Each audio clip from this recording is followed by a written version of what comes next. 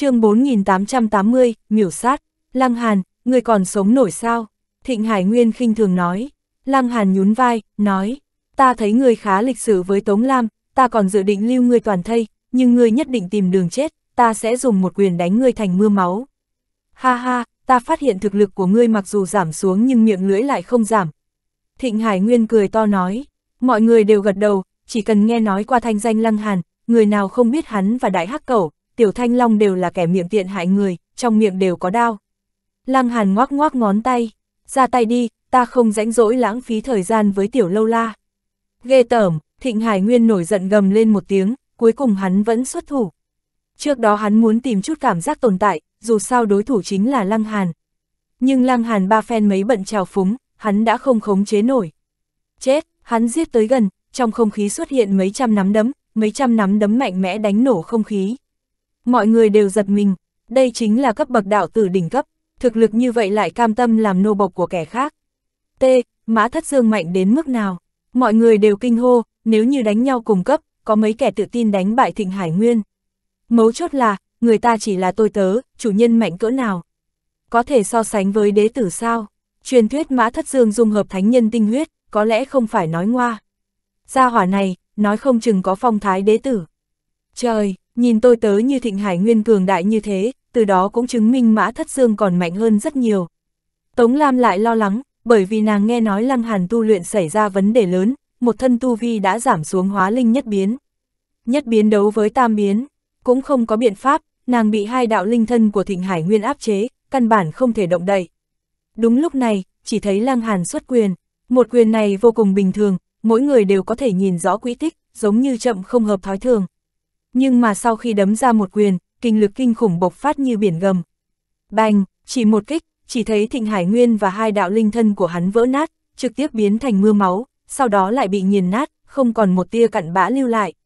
Trong thời gian ngắn, toàn trường hoàn toàn yên tĩnh, mẹ nó, đây là tu luyện xảy ra vấn đề. Khốn kiếp, ai nói, ngươi mới có vấn đề, con mắt có vấn đề, đầu óc có vấn đề. Hai linh thần trấn áp Tống Lam run rẩy, bọn chúng có linh hồn tương liên với bản ngã, bọn chúng cảm nhận được tử vong và bất lực. Đó là lực lượng làm người ta tuyệt vọng, vô ý thức, hai cái linh thân đồng thời đưa tay đặt lên đầu Tống Lam và linh thân của nàng, hắn quát. Không được qua đây, nếu không ta giết nàng, chỉ cần đánh vỡ thức hải, Tống Lam sẽ hương tiêu ngọc vẫn Lăng Hàn không vội, hắn cười nói, ngươi muốn như thế nào, có gì đáng sợ, Thịnh Hải Nguyên còn chưa mở lời, đã nghe Mã Thất Dương uy nghiêm đáng sợ nói. Không phải còn có ta hay sao? Nghe nói như thế, Thịnh Hải Nguyên lập tức ổn định tâm thần. Không sai, còn có Mã Thất Dương ở đây. Hắn biết chủ chủ nhân của mình cường đại, bằng không, với thân phận đạo tử như hắn làm sao cam tâm làm tôi tớ. Lăng Hàn không nhìn Mã Thất Dương, hắn chỉ nói với Thịnh Hải Nguyên. Buông tay, Thịnh Hải Nguyên không để ý tới, nếu chủ nhân nói không cần sợ, hắn tự nhiên không cần sợ. Lăng Hàn lắc đầu, tâm niệm vừa động, sát khí xung kích phát ra. Hai đạo linh thân của Thịnh Hải Nguyên nổ tung như khí cầu. Sát khí xung kích hiện tại có thể miểu sát giáo chủ nhị tinh bình thường, muốn giết một hóa linh tam biến khó khăn sao. Bởi vì đã tính trước, hắn mới có thể bình thản như thế. Tống Lam được tự do, nàng vội vàng chạy về phía Lăng Hàn. Ánh mắt mã thất dương bắn ra một tia sát ý, hắn điểm nhiên nói. Thật to gan, ngươi dám giết tôi tớ của ta, đây là đánh mặt trần trụi. a vừa rồi hắn còn nói đừng sợ, còn có ta, kết quả thì sao? Thịnh Hải Nguyên đã chết, Lăng Hàn cười nhạt một tiếng, sai, lá gan của ta còn lớn hơn, không biết mùi vị, mã thất dương hừ một tiếng, hắn tấn công Lăng Hàn. Hắn hiện tại vô cùng phẫn nộ, bản này hắn vốn muốn tìm thanh danh nhưng tất cả đều thành toàn cho Lăng Hàn. Không việc gì, chỉ cần hắn đánh chết Lăng Hàn, về sau thế nhân sẽ truyền tụng tên của hắn. Lúc này, chỉ thấy Lăng Hàn vung quyền, đánh ra. Rõ ràng, đơn giản, sáng tỏ, người nào cũng có thể nhìn thấy quỹ tích xuất quyền nhưng ai cũng suy nghĩ, nếu như mình đi nghênh đón một quyền này, bọn họ có thể ngăn cản hay không? Bành, Mã Thất Dương không có thời gian ngăn cản, kinh lực đáng sợ đã đánh hắn thành mưa máu. Trời, trong nháy mắt, toàn trường phát ra âm thanh hít khí lạnh. Bọn họ hoàn toàn không dám tin vào hai mắt của mình. Đây là sự thực sao? Không phải nói Mã Thất Dương có thể so sánh với đế tử sao? Hóa linh cửu biến, lại dung hợp thánh nhân tinh huyết, đánh nhau cùng cấp, hắn nên vô địch mới đúng, hiện tại hắn bị một quyền đánh chết. Mọi người khiếp sợ nhìn sang Lăng Hàn, việc này khác với việc đánh nổ Thịnh Hải Nguyên, dù sao Thịnh Hải Nguyên chỉ là hóa linh tam biến, nhưng Mã Thất Dương lại là hóa linh cảnh đỉnh phong. Một quyền đánh nổ tại chỗ, Lăng Hàn mạnh đến mức nào? Khốn nạn, là ai nói hắn tu luyện xảy ra vấn đề lớn? Là ai hại bọn họ? Đám người chào phúng Lăng Hàn trước đó run rẩy, cảm giác tổn thương to lớn, tâm lý có cảm giác đại nạn sắp tới. Sớm biết, đánh chết bọn họ cũng không dám mở miệng trào phúng, thậm chí, bọn họ còn muốn xuất thủ xử lý Lăng Hàn, cướp đoạt cơ duyên của đối phương. Đây không phải hành vi tìm cái chết sao? Bọn họ khóc không ra nước mắt, rốt cuộc là tên vương bát đản nào hại bọn họ. Cho dù người đi cùng cầu vồng với Lăng Hàn cũng khiếp sợ, bọn họ tận mắt nhìn thấy Lăng Hàn chạy trốn, hơn nữa không chỉ một lần, thậm chí bọn họ cũng tham dự truy sát Lăng Hàn. Nhưng bây giờ, Lăng Hàn đã mạnh tới mức miểu sát hóa linh cửu biến, bọn họ hoàn toàn không thể tiếp nhận. Lăng Hàn tươi cười, hiện tại các người hối hận không? Mọi người liên tục gật đầu, đáng tiếc, đã muộn. Hắn thu hồi nụ cười, phát động sát khí xung kích, ba, ba, ba, từng người ngã xuống thành từng đám. Cẩn thận xem xét, đều là những kẻ trào phúng hoặc xuất thủ truy sát hắn, không có một tên nào là vô tội. T, những người chung quanh cảm thấy ra đầu tê dại. Không cần ra tay cũng có thể đả kích tinh chuẩn như vậy, còn là đả kích chí mạng, gia hỏa này mạnh vượt qua lẽ thường, bọn họ không dám tưởng tượng mình chúng một kích sẽ thế nào. Trên lôi đài, đám đế tử bắt đầu nghiêm túc, Lăng Hàn không có phế bỏ, khốn kiếp, tên vương bát đản này đang lừa dối. chương 4881, một quyền giết đế tử. Nhưng mà, càng nhiều đế tử vẫn cao ngạo, người mạnh hơn nữa cũng chỉ là một tên hóa linh cảnh. Giáo chủ nghiền ép hóa linh chân quân, đây là chân lý tuyên cổ bất biến, tuyệt đối sẽ không phát sinh biến hóa trên người Lăng Hàn. Trong đó, phần lớn đế tử đã bước vào tiểu thừa cảnh, cho nên, có gì phải sợ. Đúng thế, người vô địch cùng giai thì tính sao? Chỉ có phong diệu lăng là tươi cười, trước đó nàng ngăn cản trước mặt lăng hàn, đó là bởi vì lăng hàn đang ngộ đạo, không thể bị quấy dày, mà thời điểm này cần nàng ra mặt sao. Nhưng mà nữ nhân kia dám đánh chủ ý lên nam nhân của nàng. Hừ, chờ tranh tài kết thúc, nàng sẽ làm thịt đối phương, không biết xấu hổ. Đám người bên dưới dùng ánh mắt sợ hãi nhìn lăng hàn, đại gia vẫn là đại gia, trước tiên miểu sát thịnh Hải Nguyên và Mã Thất Dương, uy hiếp toàn trường, sau đó dùng thủ đoạn kinh khủng miểu sát vài chục người. Sát thần, thật nhiều người không dám nhìn Lăng Hàn, sợ Lăng Hàn động sát tâm sẽ giết mình. Lăng Hàn, người không có việc gì. Tống Lam thì là ngạc nhiên hỏi. Lăng Hàn gãi gãi đầu. Ta không sao, là tên ngu xuẩn nào nói ta có việc. Nghe nói như thế, tất cả mọi người đều phát điên. Đúng vậy, bọn họ cũng muốn biết là gia hỏa khốn nạn nào phát ra tin tức này, chẳng phải đang hại bọn họ sao. Nếu sau khi khổng vô dạng chết có biết được, không hiểu tâm tình của hắn sẽ thế nào. Trên đài cao, các đế tử đều nhìn xuống Lăng Hàn, giống như bá chủ cao cao tại thượng chờ đợi phàm nhân khiêu chiến, nhưng kết quả duy nhất chính là tùy tiện chân áp. Ai muốn làm đài chủ, có thể tới khiêu chiến. Trên một lôi đài, có đế tử trầm giọng quát, giọng nói mang theo uy thế vô thượng. Lập tức, phần lớn người đều im lặng, uy thế của đế tử đã xâm nhập lòng người, điều này đại biểu chiến lược mạnh nhất. Lăng Hàn đứng chắp tay, ánh mắt nhìn từng lôi đài. Những đế tử kia đều cao ngạo, hoàn toàn không sợ. Lăng Hàn chỉ cười nhạt, cũng không có đi lên khiêu chiến. Quá sớm, có tới 10 ngày, hiện tại hắn đi lên, một quyền đánh ngã một tên đế tử thì sao, vẫn phải chờ thêm 10 ngày, nhàm chán. Đi, tìm một chỗ đi ngủ. Lăng Hàn, thấy Lăng Hàn xoay người rời đi, Tống Lam sững sờ, nàng vội vàng đi theo, nàng có quá nhiều việc cần nói với Lăng Hàn. Tất cả mọi người cực kỳ hâm mộ, không thèm đấu lôi đài, cô nam quả nữ sẽ làm cái gì. Dùng cái mông nghĩ cũng biết, nhưng cũng có người lên tiếng châm chọc, ha ha, vẫn không dám ngang hàng với đế tử, cho nên chạy. Người ứng tiếng rất ít, dù Lăng Hàn không địch lại giáo chủ nhưng vừa rồi hắn cũng chứng minh chính mình, Lăng Hàn có thể làm rất nhiều người cảm thấy tuyệt vọng. Bởi vì có sứ giả đang ẩn nấp, không có đế tử nào đi nhằm vào Lăng Hàn, ngược lại tất cả mọi người đều ở trong thành, Lăng Hàn cũng chạy không được. Một ngày, hai ngày, thời gian lặng lẽ trôi qua, thời gian 10 ngày đã tới. Nửa đêm của ngày hôm nay, lôi đài chiến sẽ kết thúc, sẽ đi vào chiến đấu đào thải. Lăng Hàn cũng đi tới lôi đài, hắn đã hàn huyên với Tống Lam một hồi, nữ nhân này nói chuyện cửu dương thánh địa giải tản, mọi người tìm một nơi ẩn cư, cũng không trở về gia tộc. May mắn nàng đạt được nhiều cơ duyên trên đế lộ, thành công xông lên hóa linh cảnh. Chọn cái nào, Lăng Hàn nhìn 16 lôi đài, cuối cùng hắn nhảy lên một lôi đài. Ha ha, ta cho rằng ngươi muốn làm rùa đen rút đầu đấy. Đế tử trên lôi đài lạnh lùng nói, hắn là xích hồng đế tộc Bùi Danh Thành, thuộc về thế hệ Bạch Ngân, trước mắt hắn đã là giáo chủ nhị tinh. Hắn thấy, giáo chủ nhất tinh đã có thể trấn áp tất cả hóa linh cảnh, huống chi hắn còn là nhị tinh, thậm chí còn là thế hệ bạch ngân. Lăng Hàn lắc đầu, nói năng lỗ mãng, chỉ nhìn đã biết ngươi không có giáo dưỡng. Bùi danh thành im lặng, hắn cảm thấy rất khó chịu. Quả nhiên, người này miệng tiện, đồn đại không giả. Hắn không hề nỗ lực đả kích Lăng Hàn, bởi vì hắn tự mình hiểu lấy mình, kết cục đấu võ mồm chỉ tự chuốc lấy tứ giận mà thôi. Võ giả nhìn thực lực chứ không phải tranh giành miệng lưỡi. Giết, hắn lao về phía Lăng Hàn, chẳng những muốn đánh bại Lăng Hàn, thậm chí còn muốn chém giết Lăng Hàn. Thử hỏi, ai không hứng thú nguyên nhân Lăng Hàn cường đại? Rõ ràng không phải đế tộc, gia nhập thánh địa là chuyện sau này, vì cái gì có thể mạnh đến mức thế hệ hoàng kim cũng không địch lại. Có ai không hứng thú với bí mật đó hay không? Lăng Hàn lộ ra vẻ mặt đáng sợ, nếu như Bùi Danh Thành chỉ muốn luận bàn thì hắn sẽ điểm tới là dừng, dù sao miệng tiện là quen thuộc, cũng không đại biểu hắn thực sự xuất thủ vô tình. Nhưng Bùi Danh Thành vừa ra tay đã động sát tâm, rõ ràng muốn giết hắn, Lăng Hàn làm sao có thể không sinh ra sát cơ. Hắn chỉ xuất một quyền, rõ ràng một quyền thường thường không có gì lạ, nhưng nó lại mang theo ma lực nào đó, thế không thể đỡ. ầm, um, một quyền bộc phát, Bùi Danh Thành bị đánh bay, hắn bay một đường vòng cung giữa trời rồi mới rơi xuống, hắn nằm trên lôi đài, năng lượng hủy diệt xung kích, thế tử phù không thể phát huy tác dụng, cho nên hắn trực tiếp mất mạng. T. Một quyền mang theo hiệu quả rung động, Bùi Danh Thành cũng không phải người khác, chẳng những là đế tử, hơn nữa còn là cao thủ giáo chủ. Trời ạ, giáo chủ cũng không địch lại một quyền của Lăng Hàn. Không chỉ khán giả dưới đài, đám đế tử cũng lộ ra vẻ mặt khiếp sợ, bọn họ không dám tin vào mắt mình. Đây là sự thật sao? Chỉ có một người bình thản, đó là Phong Diệu Lăng, nàng đã giao thủ với Lăng Hàn, tự nhiên biết rõ Lăng Hàn mạnh mẽ đến mức nào. Nếu không, Lăng Hàn làm sao xứng trở thành hôn phu tương lai của nàng chứ?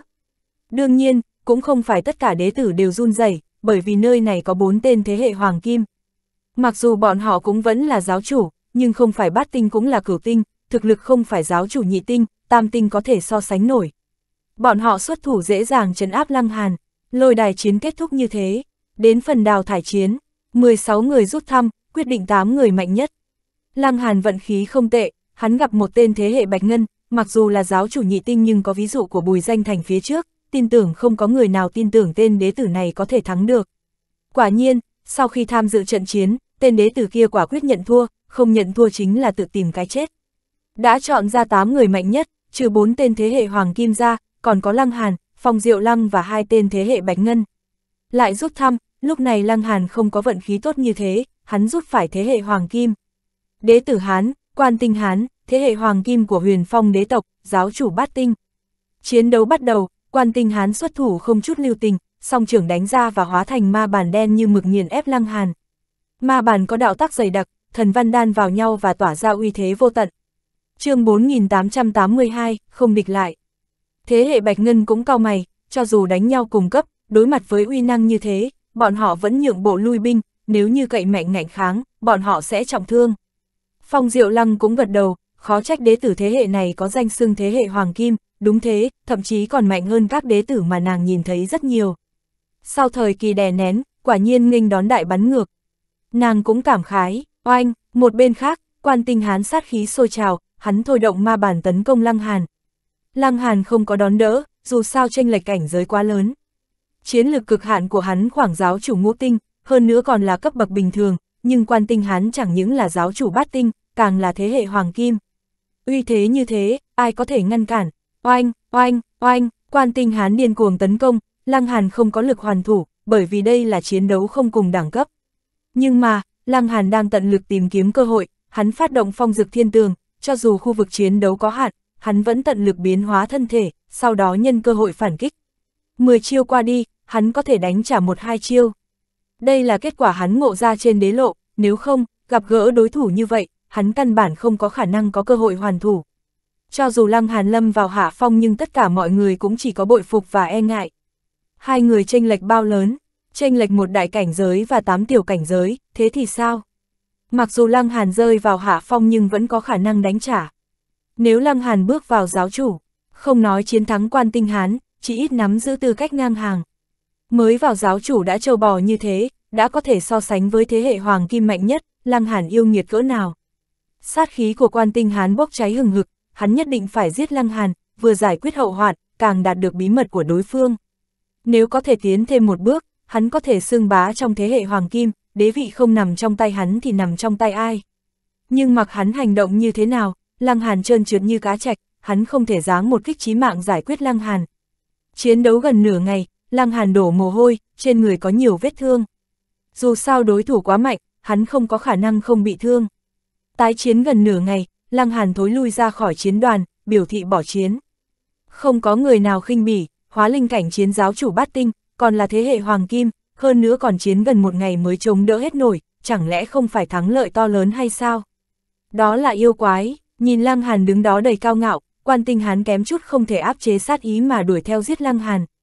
Nhưng mà, hắn lại có kỵ sứ giả thần bí tại nơi đây, thứ hai, hắn cũng từng lĩnh giáo thân pháp của Lăng Hàn, nếu Lăng Hàn toàn lực chạy trốn, hắn cũng không đuổi kịp.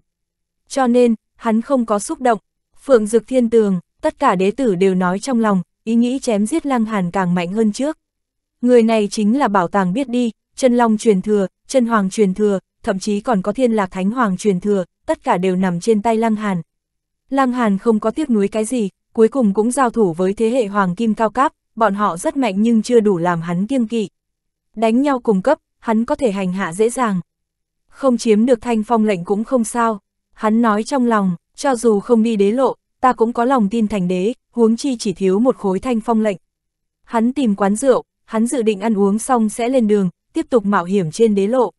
Thịt rượu dâng đủ, hắn chưa ăn mấy món đã thấy một đứa bé đi tới, nhìn thức ăn mà chảy nước bọt. Lăng Hàn cười nói, đói bụng sao, đến, ngồi xuống đi. Đứa bé kia cũng không khách khí, lập tức đặt mông ngồi xuống và gấp ăn. Sau khi ăn vài miếng, tiểu hài nói với tiểu nhị. Cho lão phu một bát rượu. a Lăng Hàn cũng kỳ quái tiểu hài này muốn uống rượu, mà là đối phương nói chuyện với giọng rượu già nua, căn bản không giống một tên hài tử. Cái quỷ gì thế này? Người trẻ tuổi, lão phu quan sát ngươi rất lâu. Tiểu hài tử nói, Lăng Hàn cười ha ha. Tiểu thí hài, người năm nay mấy tuổi? Phi, lão phu chỉ tu luyện một môn kỳ công, cho nên mới có thể cách mỗi 300 năm biến thành tiểu hài mấy ngày. Nói đến số tuổi thật sự, lão phu dư sức làm ra ra của ngươi. Tiểu hài cao ngạo nói, Lăng Hàn nhe răng, cho dù tiểu hài này không có nói sai, nhưng rất đáng ăn đòn, mở miệng đã muốn làm ra ra của hắn, đây không phải đang chiếm tiện nghi hay sao? Ăn người miệng ngắn, người không biết thưởng thức này sao? Hắn cười nói, lúc này, tiểu nhị lấy bát rượu tới, tiểu hài rót đầy cho mình, sau đó hắn uống cạn. Phanh, hắn đặt cái bát lên bàn và nói, rượu ngon, Lăng Hàn cũng không thèm để ý, không quản ngươi là trẻ con cũng tốt, lão đầu cũng được, nếu hắn nói mời thì chính là mời. a à, ngươi không hiếu kỳ địa vị lão phu sao? Tiểu hài chủ động hỏi, ngươi muốn nói tự nhiên sẽ nói, ngươi không muốn nói, ta hỏi cũng không tốt. Lăng Hàn cười nói, ngươi cũng không giống người trẻ tuổi tinh thần phấn chấn. Tiểu hài nói, ngươi cũng không giống tiểu hài tử, ông cụ non. Lăng Hàn lắc đầu, tiểu hài tử cường điệu, lão phu không phải tiểu hài tử, chỉ tu luyện công pháp nên tạm thời biến thành bộ dáng này. Ngươi đã nói, trí nhớ của ta cũng rất tốt, không cần lặp lại. Lăng Hàn cười nói, tức chết lão phu, tiểu hài tử thở dốc, bỗng nhiên hắn lấy ra một tấm lệnh bài và đặt trên bàn, nói. Ây, cầm đi, khối lệnh bài này toàn thân màu xanh đen, cũng không biết dùng tài liệu gì tạo thành, nó không phải đá, cũng không giống kim loại. Lăng Hàn nói, thanh phong lệnh, không sai, tiểu hài tử cao ngạo, dáng vẻ ngươi nên sùng bái ta đi. Lăng Hàn A một tiếng, hắn lập tức thu hồi thanh phong lệnh.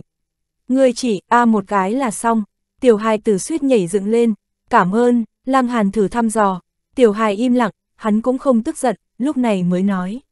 Ngươi không hiếu kỳ vì cái gì lão phu giao thanh phong lệnh cho ngươi.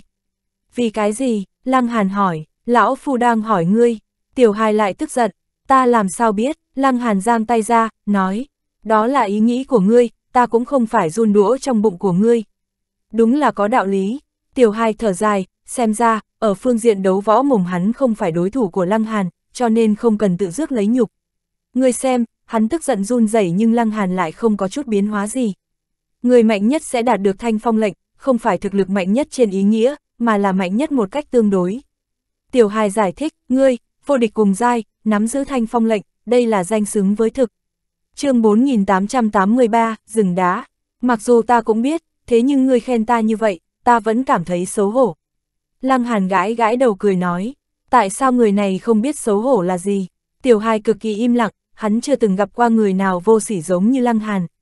Được rồi, hắn chuyên tâm ăn, không để ý tới Lăng Hàn. Lăng Hàn muốn hỏi việc liên quan tới đế lộ, muốn tìm hiểu kế tiếp sẽ trải qua cái gì, nhưng mà tiểu hài không có đáp lại hắn, chỉ lo ăn. Xem ra không hỏi ra cái gì, Lăng Hàn cũng bắt đầu ăn cơm, sau khi cơm nước no nê, tiểu hài liền phủi mông một cái rời đi.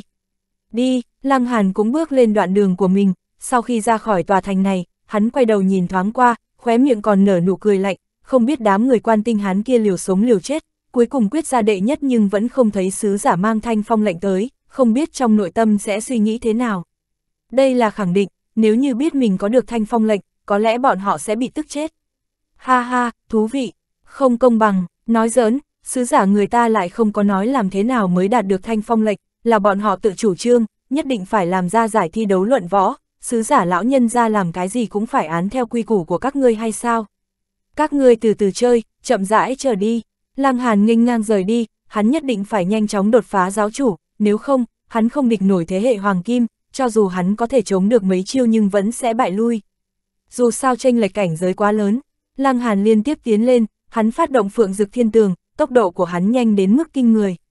Ba ngày sau, phía trước xuất hiện một khu rừng đá.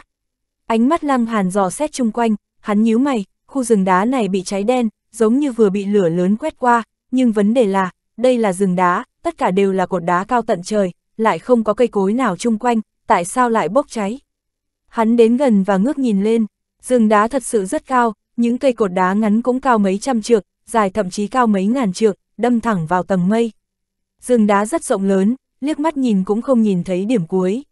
Nghe cư dân Bắc Hưng Thành nói, sau khi vượt qua Bắc Hưng Thành, đế lộ sẽ vô cùng nguy hiểm, mà khu rừng đá này chính là nơi bắt đầu nguy hiểm. Hắn không dám khinh thường, ở nơi này không ai có thể giúp được hắn, chỉ có thể dựa vào chính mình. Nhưng quan sát ở bên ngoài, hắn không nhìn thấy cái gì. Lăng Hàn thả người nhảy một cái, hắn bay không chung. Hắn muốn quan sát từ trên cao, nhưng còn chưa bắt đầu tiến lên, chỉ thấy toàn thân những cột đá phát sáng, sau đó hiu hiu hiu, từng cột sáng đánh vào người hắn. Hắn xuất một quyền, nắm đấm của hắn va chạm với tia sáng và cực kỳ đau đớn, da trên nắm đấm bị phá vỡ, máu tươi đầm đìa. Lực công kích của cột đá thật mạnh, Lăng Hàn vội vàng hạ xuống, hắn còn có thể gánh được vài cột đá công kích, nhưng mấy trăm cây thậm chí mấy ngàn cây cột đá cùng oanh kích, hắn không chịu nổi. Nên đàng hoàng đi dưới mặt đất, xem ra không thể đi vòng qua cửa lần này. Lăng Hàn điều chỉnh hô hấp một chút, hắn nhanh chân tiến vào rừng đá. Hắn bước vào, mềm nhũn, a, hắn cúi đầu xem xét, trên mặt đất có một tầng cho bụi thật dày, cho nên mới sinh ra cảm xúc mềm như thế. Bụi ở đâu ra, Lăng Hàn ngẩng đầu nhìn, những cột đá này từng bị đốt cháy qua, chẳng lẽ là sản phẩm của chúng. Hắn đào một đống bụi lên, chỉ thấy từ trên xuống dưới có cấp độ rõ ràng. Đám bụi phía trên mới có gần đây, có lẽ mới có từ hai ngày nay mà thôi. Lăng Hàn cất bước đi, hắn đi không quá nhanh, bởi vì rừng đá quá dày, từng cây cột đá ngăn cản phía trước, nhất định phải vòng quanh, cho nên tốc độ cũng giảm bớt rất nhiều. Bước đi, hắn nhìn thấy trên cây cột đá có thứ gì đó sáng nóng lánh. Hắn vội vàng bò lên, còn tốt, không có cột sáng đánh tới. Hắn nhìn thật cẩn thận, đây là một khối lân phiến giống như bị hỏa diễm thiêu đốt, cho nên nhìn nó sáng nóng lánh. Hỏa diễm thật mạnh, Lăng Hàn dùng nhãn thuật quan sát, hắn là sáng tỏ. Đây là cấp tôn giả, để trái tim của hắn đập mạnh, nếu hắn chạm vào, hắn phải chết không nghi ngờ. Nhưng mà, hắn vận dụng hỗn độn cực lôi tháp, cũng không dùng niệm lực bao phủ, mà là trực tiếp che lại. Lấy đi, đây chính là mẫu kim tạo thành, hỏa diễm cấp tôn giả thì thế nào, hắn không sợ. Có chút thu hoạch, thời khắc mấu chốt ném ra ngoài, cho dù không gây tổn thương cũng có thể hù dọa một chút. Lăng Hàn cười cười, hắn tiếp tục đi tới. Sau khi đi một lúc, hắn cảm giác có sức nóng rất mạnh ập tới. Hắn cho hỗn độn cực lôi tháp lơ lửng trên đỉnh đầu, nếu thật có hỏa diễm cấp tôn giả phun ra, hắn sẽ dùng hỗn độn cực lôi tháp thu đi. Càng đi về phía trước, sức nóng càng đáng sợ, dù có hỗn độn cực lôi tháp sinh ra hỗn độn khí bảo vệ, nhưng Lăng Hàn vẫn cảm giác lông tóc như bị đốt trụi. Dù sao, hỗn độn cực lôi tháp chỉ là mẫu kim tạo thành, mà không phải chân chính đế binh, cho nên, bản thân vô kiên khả tồi, nhưng hỗn độn khí lại không ở trong đám này. Hắn thử đường vòng, được rồi một hồi về sau, phát hiện hơi nóng hạ thấp một điểm. Lại đi một vòng, hắn có thể khẳng định, cũng không phải mọi nơi trong rừng đá đều nóng như thế, mà là có những khu vực hình thành sức nóng mà thôi. Hắn có thể đi đường vòng, nhưng Lăng Hàn vẫn quyết định tìm hiểu vấn đề. Điều chỉnh phương hướng một chút, Lăng Hàn đi về hướng trung tâm của nguồn nhiệt. Càng tiến lên phía trước, hoàn cảnh càng ngày càng nóng. Qua nửa giờ sau, hắn kinh ngạc phát hiện, phía trước xuất hiện một cái hố trời, không biết nó sâu bao nhiêu, bên trong phun ra hơi nóng làm hắn cảm giác làn da như bị đốt cháy. với thực lực của hắn bây giờ, hắn miễn cưỡng có thể thừa nhận. Lăng Hàn yên tâm, hắn thu hỗn độn cực lôi tháp lại và dùng thể phách gánh chịu. Hắn xem đây là ma luyện, rèn luyện thể phách, chỉ cần tình huống không nguy hiểm tính mạng, Lăng Hàn sẽ không dựa vào ngoại lực. Hơi nóng cuồn cuộn, đặc biệt đốt người. Lăng Hàn thăm dò hố trời phía dưới, nhưng nơi này đen nhánh, cũng không nhìn rõ phía dưới có gì, hắn phát động nhãn thuật cũng vô dụng, dường như có quy tắc tạo thành trở ngại. Phía dưới có gì, có phải là thông đạo hay không? Lăng Hàn nhe răng, nếu là thông đạo, đế lộ thực sự khó đi. Hắn tin tưởng, hiện tại hắn đã có thể thừa nhận sức nóng, nhưng nếu tiến vào chỗ sâu trong hố trời, trực tiếp tiếp xúc nguồn nhiệt, có hỗn độn cực lôi tháp bảo vệ cũng vô dụng, hắn sẽ bị đốt thành cho bụi.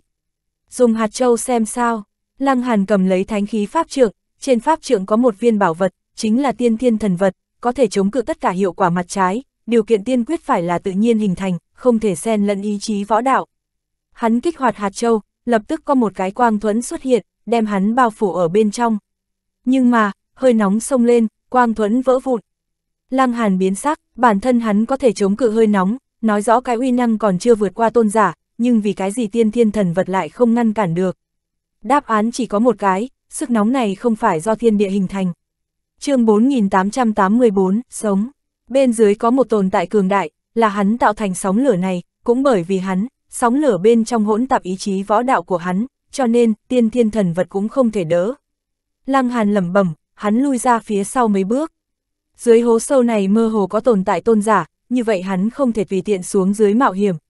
a đột nhiên hắn nhìn thấy có một tia sáng màu đỏ bay lên. Bởi vì hắn lui về phía sau mấy bước, cho nên khi hắn nhìn thấy tia sáng màu đỏ thì nó đã cách mặt đất không xa. Là hỏa diễm, Lăng Hàn vội vàng bỏ chạy, oanh, ở phía sau hắn, hỏa diễm phun ra ngoài, cũng bao phủ bốn phương tám hướng, trong nháy mắt rừng đá biến thành biển lửa. Quá nhanh, ở chỗ này không có biện pháp phát động phượng dực thiên tường, tốc độ của Lăng Hàn nhận lấy hạn chế cực lớn, căn bản không chạy nổi tốc độ hỏa diễm bao phủ, bởi vậy, hắn chỉ có thể vịn cột đá mà thôi. Chỉ cần không leo đến đỉnh, hắn sẽ không nhận công kích. Oanh, sóng lửa quét qua như thủy triều. Lăng Hàn thở ra một hơi, sau đó hắn đau đớn, nhiệt độ ngọn lửa này quá cao, quần áo toàn thân của hắn khô nứt, có xu thế bốc cháy. Khốn kiếp, đây chính là tiên liệu ngũ tinh đấy. Ai, hắn chạy tới nơi này lịch luyện thật không tốt, bởi vì quá đốt tiền. Lăng Hàn cảm thấy thịt đau, hắn không suy nghĩ về hình tượng của mình, dù sao nơi này không có cả bóng quỷ, không cần lo lắng bị người khác nhìn thấy. Nhưng mà, tâm tình của hắn nhanh chóng không suy nghĩ tới chuyện tiền, bởi vì hơi nóng càng ngày càng mạnh, cũng xông thẳng vào nội tạng, trong lỗ mũi của hắn phun ra khói màu đỏ, bởi vì quá nóng. Chẳng lẽ hắn sẽ bị nướng? Lăng Hàn cảm thấy có chút giống, người xem, hắn hiện tại đang treo người trên cột đá đấy. Hắn lại leo lên cao, rời xa sóng lửa một chút, quả thật tình huống có chuyển biến tốt, nhưng bản thân cột đá cũng cực nóng, nóng đến mức sắp lột da của hắn. Hô, hô, hắn không ngừng chuyển đổi tay trái và tay phải, chân phải đổi chân trái, hắn thoát ly cột đá để làm lạnh một chút, nhưng qua một lúc vẫn không được. Mặc kệ, hắn nhún người lao lên tầng mây, cũng không thể nhìn bản thân bị đốt trọng thương, thậm chí bị đốt chết chứ. a à, sau khi đi lên không trung, Lăng Hàn lại phát hiện cột đá nơi này không có phát sáng, cũng không công kích hắn. Chẳng lẽ, bởi vì hỏa diễm cho nên cột đá tạm thời mất đi hiệu lực. Mặc kệ, chỉ ít hiện tại có thể trốn xa hơi nóng. Hắn nhìn chung quanh, chỉ thấy có một hỏa trụ cao trăm trượng lao ra khỏi cái hố. Nhìn từ nơi xa, hắn có thể mơ hồ nhìn thấy vài bóng người. Nói cách khác, trong cái hố không chỉ có một tôn giả. Hỏa diễm cuồn cuộn, sau khi duy trì nửa giờ, cuối cùng nó cũng yên tĩnh, không hề phun trào. Rừng đá bị đốt chui lủi, gió nhẹ thổi qua, cho tàn không ngừng rơi xuống và tích một tầng cho mỏng trên mặt đất. Lăng Hàn cảm thấy khó hiểu, rừng đá bị đốt cháy, mỗi lần đều rơi ra một tầng ra, qua nhiều năm như thế, vì cái gì còn chưa bị đốt sạch sẽ. Chuyện này không hợp lý, nhưng hắn lại lắc đầu, nơi này có quá nhiều chuyện không hợp lý, hắn có thể nghiên cứu hết sao.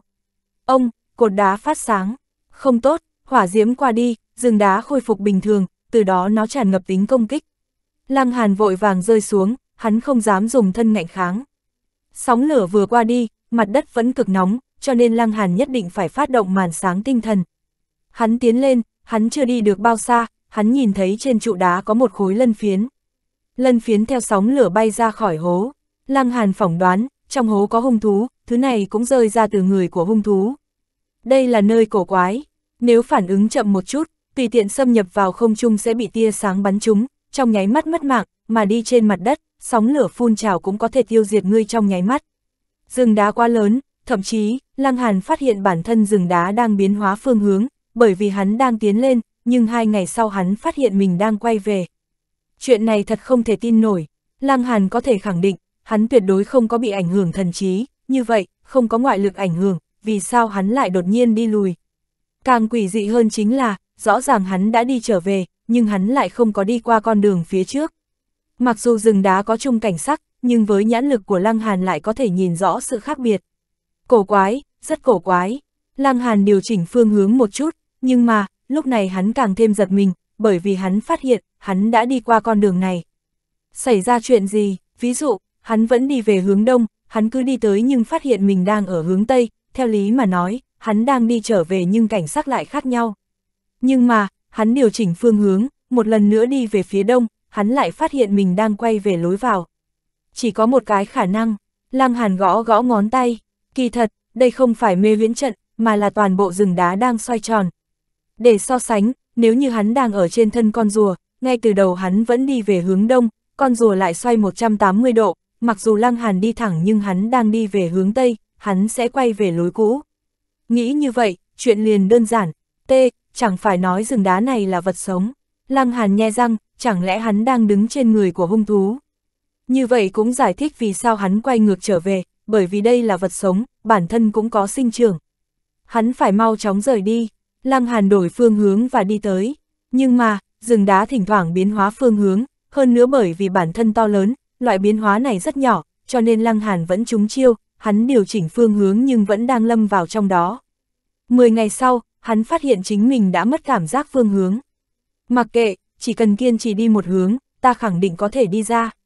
Hắn cũng phát hiện ra quy tắc của sóng lửa, mỗi ngày một lần, đúng giờ phun trào, tiếp tục nửa giờ.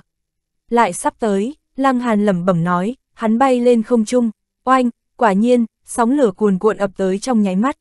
A, bỗng nhiên hắn thấy một người đứng cao ngạo trên không trung. Mặc dù cách thật xa, nhưng với nhãn lực của Lăng Hàn cũng nhận ra người này chính là quan tinh hán. Gia hỏa thế hệ Hoàng Kim cũng phát hiện Lăng Hàn, hắn không nói hai lời, lập tức giết tới đây. Oanh, trong người hắn bộc phát lực lượng hóa thành ánh sáng chín màu, từ đó hắn cực kỳ uy vũ. Chết, tên đế tử này đánh ra hai trưởng hóa thành búa lớn khổng lồ, hắn muốn chém Lăng Hàn. chương 4885, hóa cự nhân. Lăng Hàn cũng không phàn nàn bất công gì đó. Hắn bị đế tộc nhằm vào cũng không phải lần một lần hai, hơn nữa, hắn còn giết quan nguyên minh, đã kết tử thù với quan gia, nếu không đánh chết hắn, đế tộc không còn mặt mũi nào. Hắn phát động phượng dực thiên tường, thân hình lao đi cực nhanh. Thậm chí, nơi này vốn có hỏa diễm ngập trời, đôi cánh hỏa diễm vỗ mạnh còn thổi rất nhiều sóng lửa về phía quan tinh hán. Ngọn lửa này quá kinh khủng, cho dù là quan tinh hán cũng không dám đón đỡ, nhất định phải trốn tránh. Tốc độ của hắn vốn không bằng lăng hàn, lại phải né tránh sóng lửa, hắn làm sao có thể đuổi theo lăng hàn. Bởi vậy, đừng nhìn một trốn một đuổi, thật ra bọn họ đều lâm vào hung hiểm. Lăng hàn, người không cảm thấy biệt khuất sao? Đột nhiên quan tinh hán mở miệng, hắn sử dụng thần thức truyền âm. Lăng hàn không để ý đến, hắn không cần nói nhảm với đối phương, chờ thực lực của hắn đạt tới, hắn tự nhiên sẽ đánh chết đối phương. Cái gì đế tử, cái gì thế hệ bạch ngân, không phải đang chờ hắn thu thập sao? Ha ha, ngươi không có làm gì sai, vì cái gì giống như toàn bộ thiên hạ đều đối địch với ngươi. Quan tinh hán lại không thèm để ý, tiếp tục nói. Bởi vì ngươi không có bối cảnh, lại cho thấy phong thái thành đế. Đế tử có thể thỏa thích nở rộ hào quang tự thân, không sợ bị người ta đố kỵ ám sát, đó là bởi vì có tấm chiêu bài đế tộc này chống đỡ, không ai dám động. Giống như Dương Dịch Hoàn, Hà La, mặc dù phía sau bọn họ không có đế tộc, lại có chuẩn đế làm chỗ dựa, ai dám động. Cho nên, cái gọi là cạnh tranh công bằng ngay từ đầu đã không công bằng. Yếu, không có tư cách yêu cầu công bằng, mỗi chữ mỗi câu tất cả đều mang theo sát tâm. Hắn đang cố ý kích thích Lăng Hàn, muốn tâm tính Lăng Hàn mất cân bằng, tốt nhất là tức giận quay đầu lại đánh nhau với mình. Đáng tiếc, Lăng Hàn không làm thế. Chớ nhìn hắn đi vào thế giới này chỉ có thời gian trăm năm, nhưng ở nguyên thế giới, hắn đã sống trong đó bao nhiêu năm tháng. Lão quái vật như hắn sẽ trung kế khích tướng. Đúng vậy, hắn có đôi khi tức giận bạo phát, nhưng tuyệt đối không có khả năng trúng phép khích tướng cấp thấp. Hắn căn bản không thèm để ý, đôi cánh chấn động, bỗng nhiên hắn ra tốc, trong nháy mắt đã đi xa, cũng ném quan tinh hán lại phía sau. Quan tinh hán im lặng dừng bước, hắn không tiếp tục truy kích. Đuổi không kịp, không cần đi lãng phí thời gian, người cơ duyên nghịch thiên như thế, ngay cả đại đế truyền thừa cũng có được nhiều như thế, giống như được thiên địa chiếu cố, không giết ngươi, ai có thể an tâm. Quan tinh hán thì thào tự nói, đế vị chỉ có một, cho nên, ngươi phải chết. Lăng Hàn thoát khỏi quan tinh hán, chờ đợi một hồi, sóng lửa bộc phát kết thúc. Hắn nhanh chân tiến lên, hắn cực kỳ hiếu kỳ, đây là đế lộ, cho nên, sự tồn tại của rừng đá không chỉ cản đường của người tiến vào. Sẽ có cơ duyên gì đây? Lăng Hàn vừa đi vừa móc ra thanh phong lệnh, hắn nghiên cứu thật lâu, nhưng từ đầu đến cuối không có phát hiện thứ này có cái gì khác lạ nhất định phải tìm ra. Hắn thỉnh thoảng lấy ra thử một chút, nhìn xem có thể hình thành cộng minh với hoàn cảnh chung quanh hay không.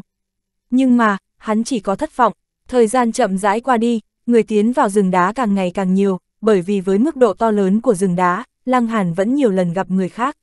Hiện tại hắn đã có uy danh hiển hách, nào có người dám khiêu khích hắn, sau khi thấy hắn đều sợ hãi, lập tức xoay người bỏ chạy. Từ đó cũng làm Lăng Hàn buồn bực, hắn cũng không phải sát thần, tại sao mọi người đều tránh mà không kịp. Qua 10 ngày sau, đột nhiên Lăng Hàn phát giác mặt đất đang run rẩy. A, trước đó chưa bao giờ xuất hiện, sóng lửa dâng trào cũng gây ra động tĩnh nhưng tuyệt đối không lớn như thế. Hắn không dám khinh thường, hắn lập tức bay lên không trung. Nhưng cũng không có sóng lửa trào lên, mà là từng cây cột đá tỏa sáng. Hiu hiu hiu, cột sáng bắn loạn xạ, Lăng Hàn vội vàng vung quyền ngăn cản.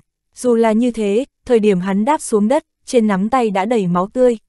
Oanh, đúng lúc này, mặt đất chấn động mạnh, Lăng Hàn kinh ngạc phát hiện, bầu trời đang xoay tròn. Không, không phải thiên địa đang xoay tròn, mà là khu rừng đá bắt đầu chuyển động.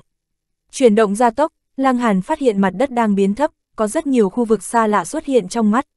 Đã xảy ra chuyện gì? Lúc này, sóng lửa ập tới. Trốn, Lăng Hàn vội vàng bay lên, không chỉ có hắn, trên không trung xuất hiện rất nhiều người. Mọi người đều khiếp sợ nhìn về phía trước, trong khu rừng đá có một người.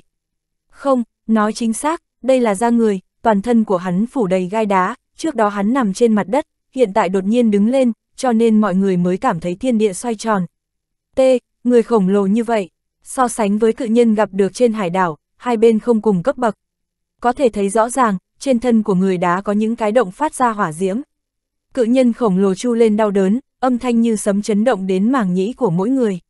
Hắn duỗi ngón tay ra đào vào trong cái động, một lúc sau, hắn móc ra một con côn trùng dài trăm trượng, toàn thân phủ đầy lân phiến đỏ thấm, sau đó hắn vứt trên mặt đất và đạp mạnh. Chi, côn trùng phát ra tiếng kêu thảm thiết, nó bị dẫm thành thịt nát. Lăng Hàn đã thấy rõ ràng, lân phiến trên người côn trùng giống như đúc lân phiến bên trong hỗn độn cực lôi tháp. Thì ra hố trời là do những côn trùng tiến vào cơ thể cự nhân và lưu lại vết thương. Người khổng lồ đang đào những vết thương kia, hắn móc ra từng con côn trùng và dẫm chết từng cái, mỗi khi đào một lần thì hắn sẽ chu lên, âm thanh chấn động thiên địa. Sau khi hắn móc sạch côn trùng ra khỏi cơ thể, dường như hắn đã mất hết khí lực, oanh, hắn ngã trên mặt đất, sau đó lại biến thành rừng đá. Tất cả mọi người khiếp sợ, qua thời gian rất lâu vẫn chưa khôi phục tinh thần. Người khổng lồ này là chủng loại gì, côn trùng lại cái quỷ gì? Lăng Hàn nhìn vị trí cự nhân rời đi thì ra nơi hắn nằm lưu lại cái hố cực lớn, trong cái hố này có rất nhiều thực vật sinh trưởng. Tiên dược, ánh mắt của hắn lập tức sáng lên, những tiên dược này hấp thu khí tức sinh mệnh của cự nhân mà sinh trưởng, dù sao trên người hắn xuất hiện nhiều cái lỗ như vậy, khẳng định sẽ có năng lượng tinh hoa tràn ra, từ đó tạo thành vườn thuốc. Xèo, hắn lập tức xông tới, nhắm thẳng vào nơi có năng lượng nồng đậm nhất. chương 4886, Huyền Thiên Đạo Liên. Hừ, bốn thế hệ Hoàng Kim lập tức kịp phản ứng, cũng lập tức truy kích Lăng Hàn. Những người khác phản ứng không chậm, theo sát bốn người quan tinh hán, đồng thời lao xuống. Tiên dược chỉ có bao nhiêu đó, người nhanh tay sẽ đạt được. Bởi vì vết thương cự nhân phân bố ở các nơi trên thân thể, tiên dược sinh trưởng phân bố cách nhau rất xa. Từ trên lao xuống, mọi người đều tự chọn nơi cho mình, cũng bay tới các nơi tiên dược sinh trưởng khác nhau. Ai cũng muốn được tiên dược tốt nhất, nhưng việc này mang ý nghĩa tranh đoạt cực kỳ kịch liệt, cần phải ước lượng thực lực của mình có đủ hay không, nếu không, chỉ có thể bỏ lỡ cơ duyên. Lăng Hàn lao thẳng vào gốc tiên dược tỏa ra năng lượng nồng nặc nhất, bốn gia hỏa thế hệ hoàng kim theo sát phía sau, phong diệu lăng cũng xuất hiện, tốc độ của nàng rất nhanh chóng, cũng không có rớt lại phía sau. Có 6 người ở đây, kẻ khác tranh đoạt chỉ tự rước lấy nhục, đi tranh tiên dược này sẽ làm bản thân mất đi cơ duyên khác. Huyền Thiên Đạo Liên, Thường Đạo Vũ là người đầu tiên nhận ra lai lịch của tiên dược.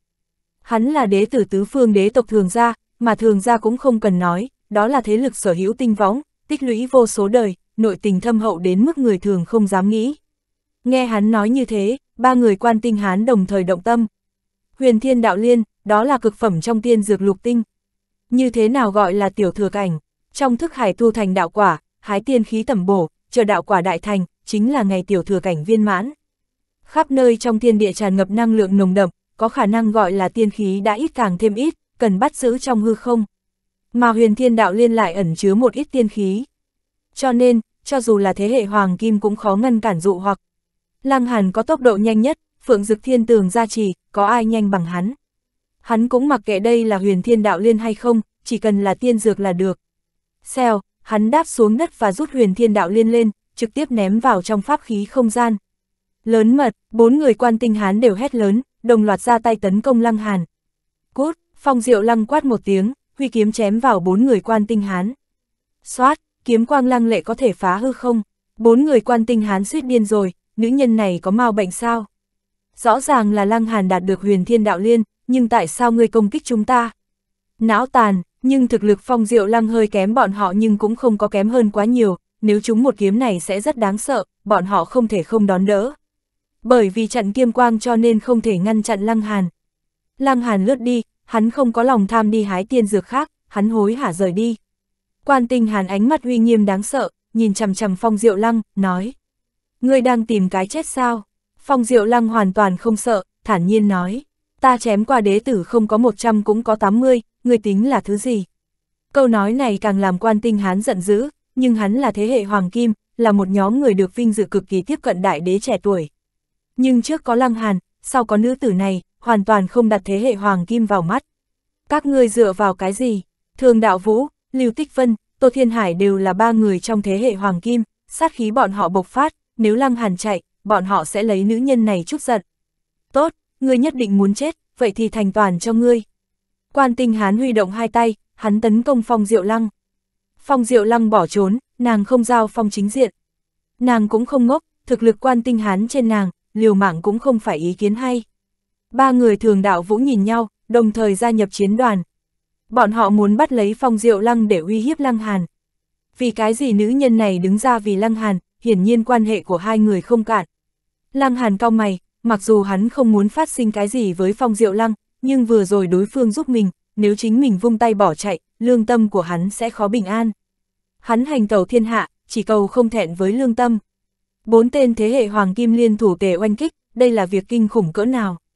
Trong cấp bậc giáo chủ, ai có thể ngăn cản, mặc dù phong diệu lăng là yêu nghiệt vượt qua vô số năm tháng, chiến lực cùng giai cực kỳ cường hoành, nàng lại thua thiệt ở cảnh giới, nàng không địch lại một quan tinh hán, huống chi là bốn tên thế hệ hoàng kim.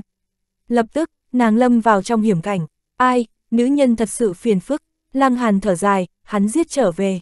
Không có phong diệu lăng nhúng tay, kỳ thật hắn cũng có thể đào tẩu, nhưng ân tình là ân tình. Thấy lăng hàn giết trở về, phong diệu lăng tươi cười ngọt ngào. Khốn kiếp, ngươi không nên hiểu lầm. Lăng hàn lúc này muốn quay người chạy trở về, nhưng hắn biết không thể nào, cho nên hắn kiên trì lao tới. Ha ha, đi tìm cái chết. Thường đạo vũ cười lạnh, hắn xuất trưởng tấn công lăng hàn. Nhưng hắn là giáo chủ cửu tinh, lại thêm hắn là thế hệ hoàng kim, hắn đã đứng ở cấp bậc giáo chủ cấp đỉnh phong, một kích này kinh khủng cỡ nào. Lăng Hàn căn bản không có khả năng ngang hàng, hắn vội vàng tránh né. Đi, hắn nói với Phong Diệu Lăng. Phong Diệu Lăng gật đầu, cầm kiếm giết ra và tụ hợp với Lăng Hàn. Bốn đại đế tử cũng không có ngăn cản, nhân cơ hội tạo thành xu thế vây kín, cũng bao vây Lăng Hàn cùng Phong Diệu Lăng. Lần này, các ngươi chính là cá trong chậu, Tô Thiên Hải điềm nhiên nói. Phải không, Lăng Hàn nhe răng cười một tiếng, hỗn độn cực lôi tháp bộc phát, ném ra bốn khối lân phiến hỏa diễm. Oanh, khí tức tôn giả chấn động, bốn đế tử đều kinh hãi, khốn kiếp, tại sao Lăng Hàn lại đột nhiên đánh ra công kích cấp tôn giả. Bọn họ vội vàng trốn tránh, mặc bọn họ tự phụ nhưng không ngu ngăn cản công kích cấp tôn giả. Nhưng mà, bọn họ lập tức phát hiện bị lừa rồi. Mặc dù lân phiến có hỏa diễm cấp tôn giả sôi trào, nhưng lực đạo đánh ra cực yếu, bọn họ chỉ cần phất tay là có thể đánh bay. Cho nên, bọn họ không cần tránh né, nhưng bản năng sẽ phản ứng theo cách su cắt tị hung, đây là ứng phó đơn giản nhất. Thừa cơ hội này, Lăng Hàn cùng Phong Diệu Lăng đã thoát ra khỏi vòng vây.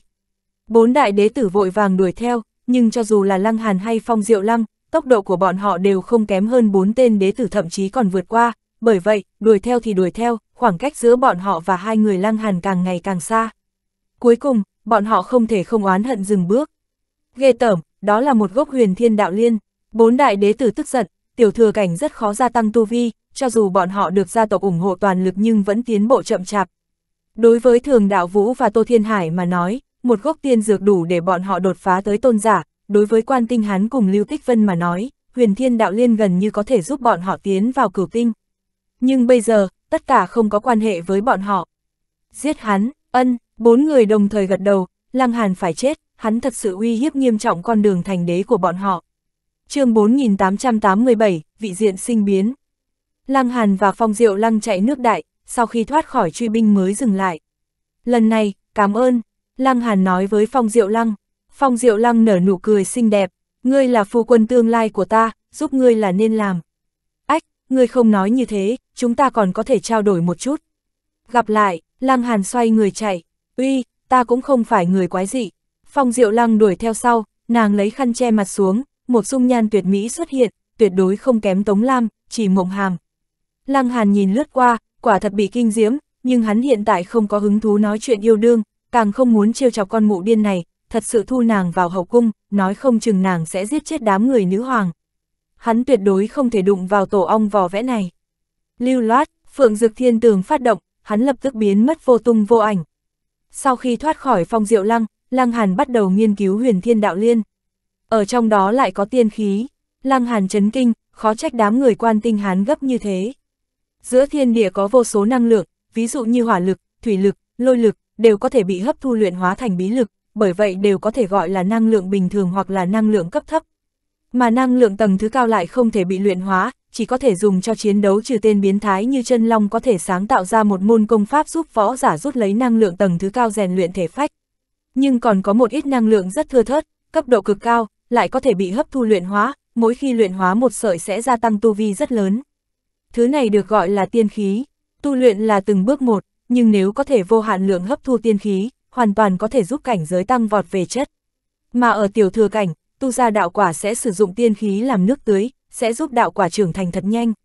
Lại chia nhỏ một chút, kỳ thật tiên khí cũng có khác nhau, cũng có phân chia phẩm chất. Dù là đế tộc nắm giữ nội tình kinh người, số lượng tiên khí cũng không ít, nhưng muốn nói đến tiên khí phẩm chất cao ha ha, số lượng rất ít. Tiên khí phẩm chất khác nhau sẽ gia tăng phẩm chất đạo quả không giống nhau, bởi vậy, nhiều thế hệ hoàng kim như vậy đều bước vào giáo chủ, nhưng vì cái gì chỉ có ba người đột phá tôn giả. Không phải những người khác không thể, mà là đạo quả của bọn họ còn không có đạt đến hoàn mỹ, không cam lòng đột phá mà thôi. Đối với một gốc huyền thiên đạo liên, phẩm chất tiên khí trong đó cực cao, có thể gia tăng phẩm chất đạo quả rất lớn. Khó trách nhìn thấy Lăng Hàn lấy đi huyền thiên đạo liên, bốn người quan tinh hán gần như phát điên. Ta ăn hay không ăn? Lăng Hàn có chút do dự. Huyền thiên đạo liên không phải chuẩn bị cho hóa linh cảnh, nếu hắn hiện tại ăn, tiên khí trong đó chỉ có thể gia tăng tu vi của hắn, sẽ không thể tăng lên đạo quả, chẳng khác gì là lãng phí. Chuyện cần thiết nhất của ta hiện tại là gia tăng tu vi bằng không gặp phải hệ hoàng kim chỉ có thể chạy. Cho nên, lãng phí thì lãng phí, chỉ cần cảnh giới của ta tăng lên, còn lo lắng không chiếm được tiên khí sao. Lăng Hàn rất thẳng thắn, hắn bắt đầu ăn huyền thiên đạo liên. Nhưng mà, đồ chơi này không ăn sống, ăn nó như nhai cỏ xanh, Lăng Hàn cau mày. Tại sao tiên dược cao dai lại khó ăn như thế? Vào lúc này ta thật hâm mộ ngưu tộc, mã tộc, vốn chính là ăn cỏ, không hề có cảm giác không hài hòa. Ăn xong tiên dược, hiệu quả sinh ra, từng đám năng lượng sôi trào, năng lượng cực kỳ nồng đậm.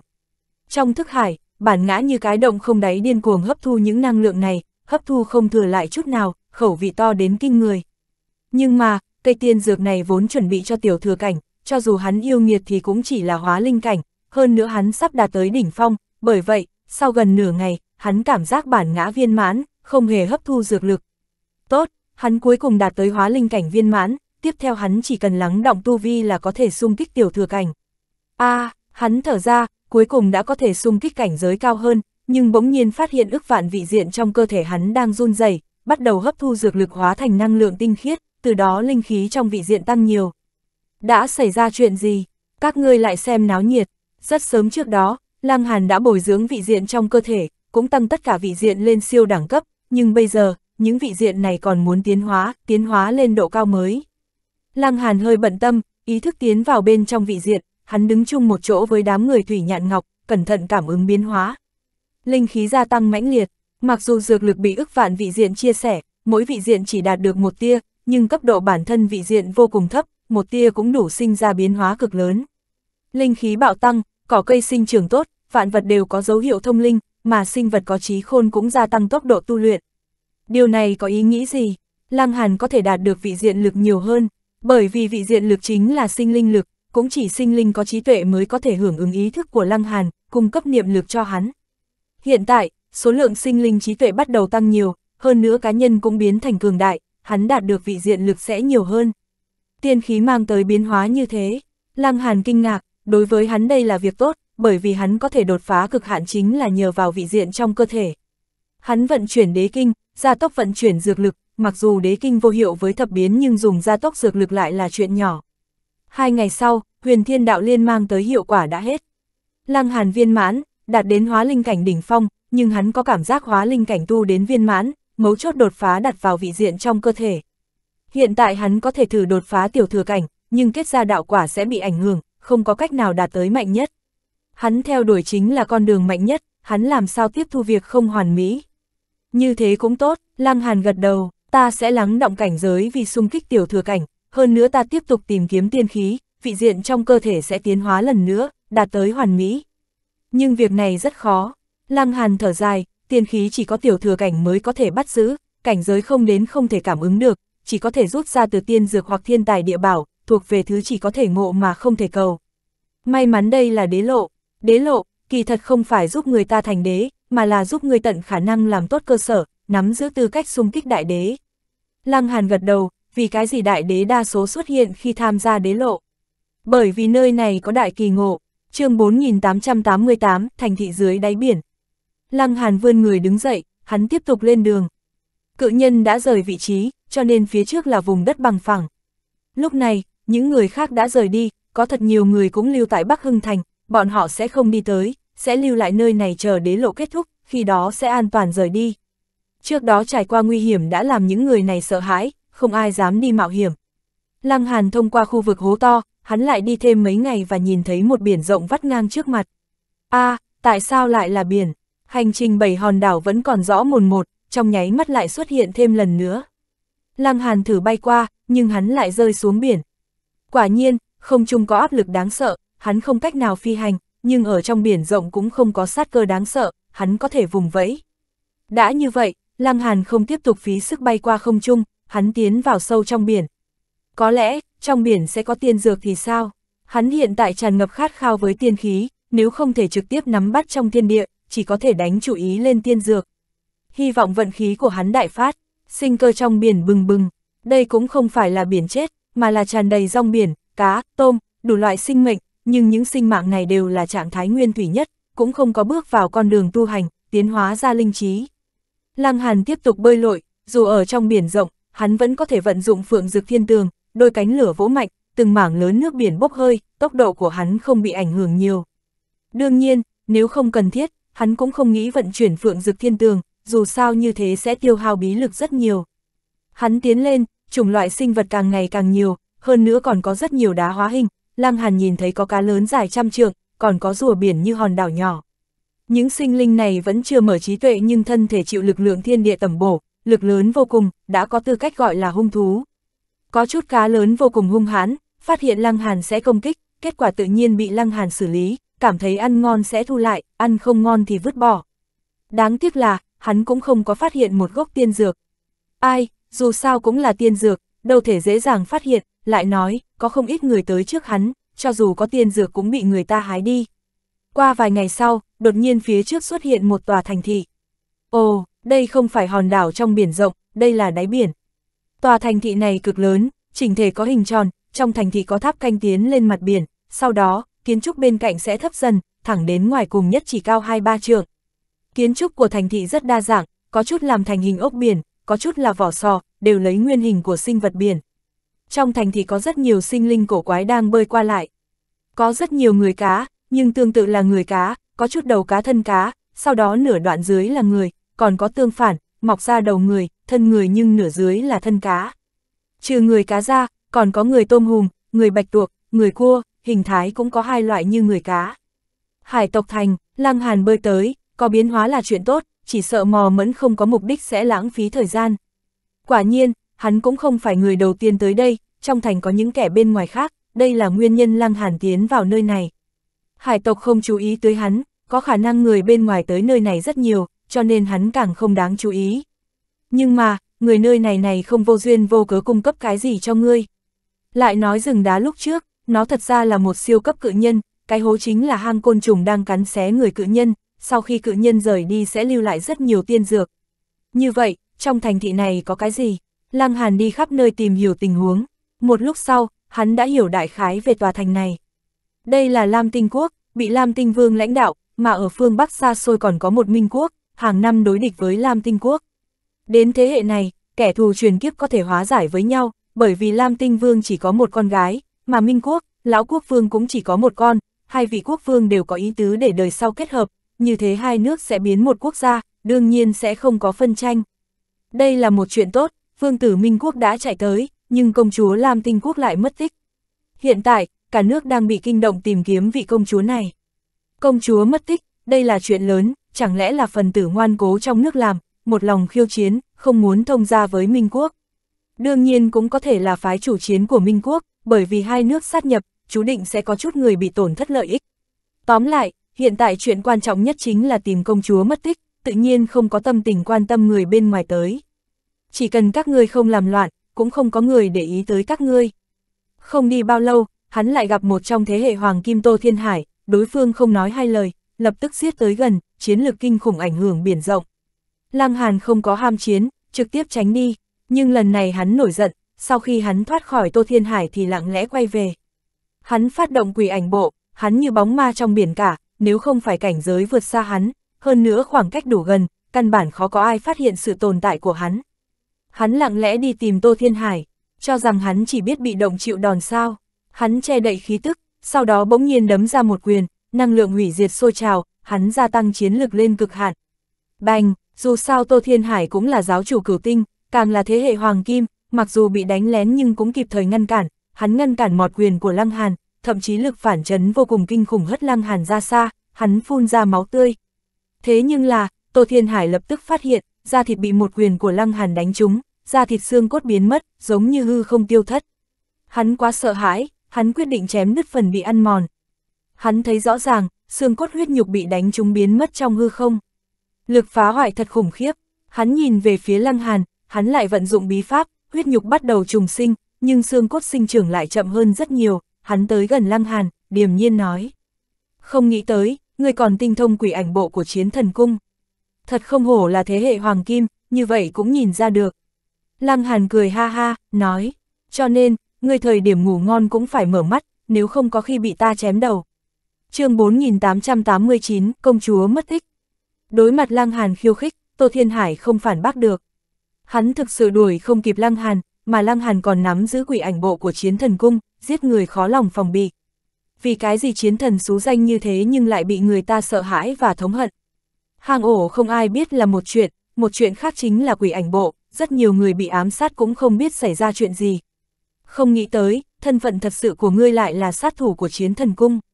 Tô Thiên Hải mở miệng, Lăng Hàn khoát khoát tay, ha ha, người cũng không cần thiếp vàng lên mặt chiến thần cung, bọn chúng không xứng lưu thiên tài như ta. Ha ha, ta chỉ là cơ duyên xảo hợp mới học được môn bộ pháp này từ chiến thần cung. Ngươi có vận khí tốt thế. Trên thực tế, muốn nói tốc độ, phong dực thiên tường đứng đầu thân pháp trong thiên hạ, nói tới bí ẩn, quỷ ảnh bộ đứng đầu. Tô Thiên Hải đứng nhìn Lăng Hàn, trong mắt bắn ra sát ý đáng sợ. Hắn không phải không muốn giết Lăng Hàn, mà là giết không được.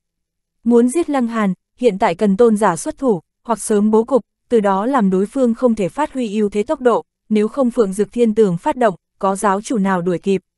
Trong lòng của hắn sinh ra cảm giác cấp bách, xem ra, hắn nên bước vào tứ cực cảnh, sau khi trở thành tôn giả, hắn có thể khống chế một phiến thiên địa, muốn giết Lăng Hàn còn không đơn giản sao. Nhưng vấn đề là, đạo quả của hắn còn không chưa đạt tới hoàn mỹ, nếu lúc này sử dụng đạo quả hóa tứ cực, khi đó sẽ ảnh hưởng tới tiềm lực phát triển của hắn. Lúc này hắn rất xoắn suýt, đồ ngu, lần sau lại đến chém ngươi, không cần tiễn. Lăng Hàn biến mất, hắn phát động quỷ ảnh bộ ẩn vào bóng tối. Tô Thiên Hải tức giận nhưng không có biện pháp, Lăng Hàn đi trong thành hai ngày, hắn đã thấy vương thất mở treo thưởng. Phàm là người có thể cung cấp tin tức của công chúa, ban thưởng 10 cân cực la bối, nếu có thể mang công chúa về sẽ thưởng thêm một viên hàn cực châu. Lăng Hàn hiểu rõ một chút, cực la bối chính là một loại vỏ sò, nó cực ngon và là vật đại bổ, có trợ giúp gia tăng tu vi và thể phách rất lớn. Mà hàn cực châu càng ghê gớm, đó là thiên tài địa bảo, do thiên địa thai ngén, bao hàm tiên khí. Tin tức truyền ra, chẳng những quốc dân Lam Tinh quốc hưng phấn, cho dù người bên ngoài cũng ngo ngoe muốn động, thậm chí, Minh quốc xa xôi cũng có võ giả chạy tới, muốn gia nhập vào trong hàng ngũ tìm kiếm Lam Tinh công chúa. Lăng Hàn cảm thấy tim đập thình thịch, tiên khí đấy, hắn rất cần. Ai, người khác phải trở thành giáo chủ mới cần tiên khí, hắn thì sao? Ở hóa linh cảnh đã cần, nhưng mà, từ đó cũng chứng minh hắn yêu nghiệt, nhưng biển cả minh mông, đi đâu đi tìm vị Lam Tinh công chúa. Ứng với câu nói mỏ kim đáy biển, Lăng Hàn đi tới vương cung, lại phát hiện vương thất nơi này quá đơn giản, mặc dù trong vương cung có thủ vệ nhưng rất khách khí với bình dân, có thể cho người tham quan chỉ cần đừng đi tẩm cung quốc vương và vương hậu là được. Phòng ngự lơi lỏng như thế, cho dù Lam Tinh công chúa bị người ta bắt đi hay chính nàng bỏ trốn, tất cả đều quá dễ dàng. Chính mình rời nhà trốn đi, đương nhiên rất có thể, bởi vì vị công chúa này còn chưa đồng ý lập gia đình, cho nên bộc phát cảm xúc và làm ra chuyện rời nhà trốn đi cũng không khó hiểu. Cũng mặc kệ Lam Tinh công chúa là bị bắt đi hay chính nàng trốn đi, hắn đi đâu tìm. Thời gian đã qua vài ngày, đầu mối gì cũng mất, hắn làm sao bây giờ? Lăng Hàn ra khỏi thành, hắn đi khắp nơi nhưng không có thu hoạch gì. Hải vực lớn như vậy, hơn nữa còn là hình lập thể, một người muốn ẩn giấu, làm sao có thể tìm được. Hắn suy nghĩ, Lam Tinh công chúa sớm không mất tích, muộn không mất tích, hết lần này tới lần khác người bên ngoài tới mới mất tích, như vậy quá đúng dịp. Cho nên, muốn Lăng Hàn tin tưởng không có an bài, hắn tuyệt đối không tin tưởng. Từ nơi sâu xa có lực lượng đang chi phối tất cả. Đây là đế lộ, có thể nói là nơi thiên địa sàng chọn đại đế tương lai, cho nên, có sắp xếp cũng rất bình thường. Đã như vậy, như vậy Lam Tinh công chúa sẽ lưu lại dấu vết, sẽ không làm cho người ta mò kim đáy biển. a à, kỳ thật công chúa đang ở trong thành, đột nhiên Lăng Hàn nghĩ thông suốt, muốn một côn chúa đang sống an nhàn sung sướng lưu lạc thiên nhai, hơn nữa, trong biển còn có không ít hung thú, vị công chúa này sẽ sống được mấy ngày. Dựa theo điều kiện treo thưởng, tất cả đều cần công chúa còn sống trở lại vương cung. Cho nên, nếu như Lam Tinh công chúa còn ở trong thành, nàng sẽ ở đâu? Đầu tiên, khẳng định là ở nơi vắng vẻ, bằng không ẩn nấp tốt cũng sẽ có dấu vết lưu lại. Thứ hai, khẳng định có người chiếu cố nàng, nếu không sẽ lộ ra vết tích. Mang theo hai điểm này, Lăng Hàn dựa vào hiểu rõ tòa thành mấy ngày trước, hắn tiến hành sàng chọn. Có ba khu vực, hai nơi là khu bần dân, ngư long hỗn tạp, lực lượng của vương quốc rất khó xâm nhập, đều bị lực lượng ngầm khống chế. Còn có một chỗ là tuyệt địa, trước kia phát sinh qua địa chấn, có năng lượng đáng sợ tuôn ra, diệt tuyệt tất cả sinh linh ở đó, hiện tại vẫn bị xem là tử địa, không người ở lại. Ân, đi tuyệt địa trước, Lăng Hàn lập tức xuất phát, hắn nhanh chóng tới nơi cần tìm. Trước đó hắn đã tới nơi này, nhưng hắn không có xâm nhập, bởi vì hiện tại vẫn có thể cảm ứng được năng lượng quỷ dị ba động. Nhưng lần này đã khác, hắn dự định tìm kiếm một phen. Lúc này, hắn có chút tiếc hận, bởi vì chỉ có một bản ngã, cũng không có linh thân để phân ra, trợ giúp hắn tìm kiếm chung quanh. Có được tất có mất, mặc dù mất chút tiện lợi nhưng chiến lược bản thân mới là trọng yếu nhất. Lăng Hàn cất bước đi tới khu vực trung tâm, hắn nhìn thấy một khe rãnh sâu không thể thấy đáy, trong đó còn có năng lượng tràn ra làm người ta run sợ. Ân, hắn hơi sướng sờ, hắn nghe được tiếng ca. Đây là một giọng nữ biến ảo khôn lường. Thật đúng dịp, chẳng lẽ là Lam Tinh công chúa đang ngâm sướng. Hắn đi theo tiếng ca, hắn nhìn thấy một bóng lưng đang ngồi trên vỏ sò lớn, tóc thật dài phiêu theo gợn sóng, lộ ra phần lưng tuyết trắng. Mặc dù nàng chỉ lộ bóng lưng, nhưng eo thon nhỏ nhắn, da thịt tuyết trắng động lòng người. Nhưng hết lần này tới lần khác, nửa người dưới của nàng lại là đuôi cá, cái đuôi đung đưa theo nước thật mỹ lệ. Ách, nhìn thấy cái đuôi này, rất nhiều nam nhân sẽ mất đi hứng thú. Lăng Hàn mở miệng, nói, Lam tinh công chúa, tiếng ca im lặng, mỹ nhân ngư kia kinh ngạc, nàng lập tức bay phía trước, cái đuôi chập chờn, tốc độ của nàng nhanh chóng. Lăng Hàn vội vàng đuổi theo, khoảng cách hai bên kéo gần với nhau. Xoát, một đạo hàn quang bắn tới bên cạnh, nhắm thẳng vào vai trái của Lăng Hàn. chương 4890, Hải Ngạc Trương Lão Đại. Đánh lén, nhưng mà cũng chỉ là hóa linh cấp bậc. Hiện tại, công kích cấp bậc hóa linh có thể tạo thành uy hiếp với Lăng Hàn sao? Ha ha, hắn đưa tay nhấn một cái, hàn quang kia là gai nhọn. Lăng Hàn nhìn sang bên kia, chỉ thấy đó là một con hải sâm. Rõ ràng là hải sâm nhưng hắn lại có đầu người, toàn thân đầy gai nhọn. Khốn kiếp, gai hải sâm dài như vậy sao? Lăng Hàn cười một tiếng, nói, ngươi đang lừa dối ấn tượng của ta với hải sâm, nếu ta gặp qua ngươi, về sau ta còn có khẩu vị nào ăn hải sản. Người hải sâm giận tím mặt, hắn lập tức cong người và vài đạo hàn quang bắn về phía Lăng Hàn. Đúng lúc này, nữ tử phía trước đã xoay người quay lại. Ôi chao, ấn tượng của Lăng Hàn đối với Mỹ Nhân Ngư đã sụp đổ, đúng là hình tượng nữ tính nhưng da mặt lại là màu xanh, hơn nữa còn là từng tầng từng tầng, nói lệ quỷ mặt xanh nhanh vàng còn tạm được. Đây là Lam Tinh công chúa sao? Lăng Hàn gãi đầu, Lam Tinh quốc cũng đủ qua loa, rõ ràng bảo người ta tìm kiếm công chúa mất tích, ngay cả chân dung của công chúa là gì cũng không công bố ra ngoài. Cho nên, nhân ngư mặt xanh nhanh vàng này thật sự là Lam Tinh công chúa sao? Xoát, nhân ngư giết trở về, trong tay xuất hiện một thanh xiên cá. a đường đường công chúa của một nước lại dùng vũ khí không nhập phẩm hay sao? Hơn nữa, bản thân ngươi chính là cá, dùng xiên cá thực sự được không? Lăng Hàn nói thầm, hắn xuất ra một quyền, banh, lực lượng kinh khủng sôi trào, nhân ngư hải tay, binh khí rời tay, bàn tay vỡ ra, máu tươi chảy ròng. Người hải xâm vội vàng giết tới, toàn thân lắc một cái, gai nhọn bắn loạn xạ. Lăng Hàn mở màn sáng tinh thần, gai nhọn đâm chúng nhưng không thể phá tan màn sáng. Hắn cười nhạt một tiếng, đến, nói lai lịch của các ngươi. Nhân ngư và người hải sâm kinh ngạc, đối thủ này quá mạnh, bọn họ không đánh lại. Hai người còn muốn ngoan cố chống lại, nhưng Lăng Hàn đã không còn kiên nhẫn, sát khí xung kích phát động, hai người kêu la thảm thiết. Đương nhiên hắn chỉ dùng một ít huy năng, nếu không, hai người đã sớm bị tiêu diệt. Ta nói, ta nói, chúng ta là thủ hạ của Hải Ngạc Trương Lão Đại. Hai người lập tức cung khai. Cái gì Hải Ngạc Trương Lão Đại? Lăng Hàn hỏi, người Hải Sâm vội vàng giải thích, Hải Ngạc Trương Lão Đại chính là một trong những lão đại trong hai xóm nghèo, nghe nói từng làm tướng lĩnh của Lam Tinh Quốc, cũng không biết xảy ra chuyện gì đột nhiên thối lui ra khỏi quân đội, ngược lại đi xóm nghèo lăn lộn. Đây là một vị cường giả giáo chủ, cho nên, hắn nhanh chóng chân áp xóm nghèo và làm thủ lĩnh. Vậy tại sao các người còn muốn phục kích chúng ta? Lăng Hàn hỏi, hai người ú à ú ớ một lúc, lúc này mới nói ra, thì ra trương lão đại cũng đang tìm kiếm Lam Tinh công chúa, phái ra thủ hạ khắp nơi tìm kiếm vị công chúa kia khắp nơi, mà Mỹ Nhân Ngư và người Hải Sâm phụ trách khu vực này. Đương nhiên, bọn họ ở chỗ này cũng không có thu hoạch gì, lại linh cơ khẽ động, quyết định ở chỗ này áp dụng cướp bóc, bởi vì bọn họ biết rõ, khẳng định có rất nhiều người bên ngoài đang tìm kiếm Lam Tinh công chúa. Đáng tiếc, sinh ý đầu tiên của bọn họ lại đụng phải Lăng Hàn, chẳng những không có thu hoạch, ngược lại còn bị bắt làm tù nhân.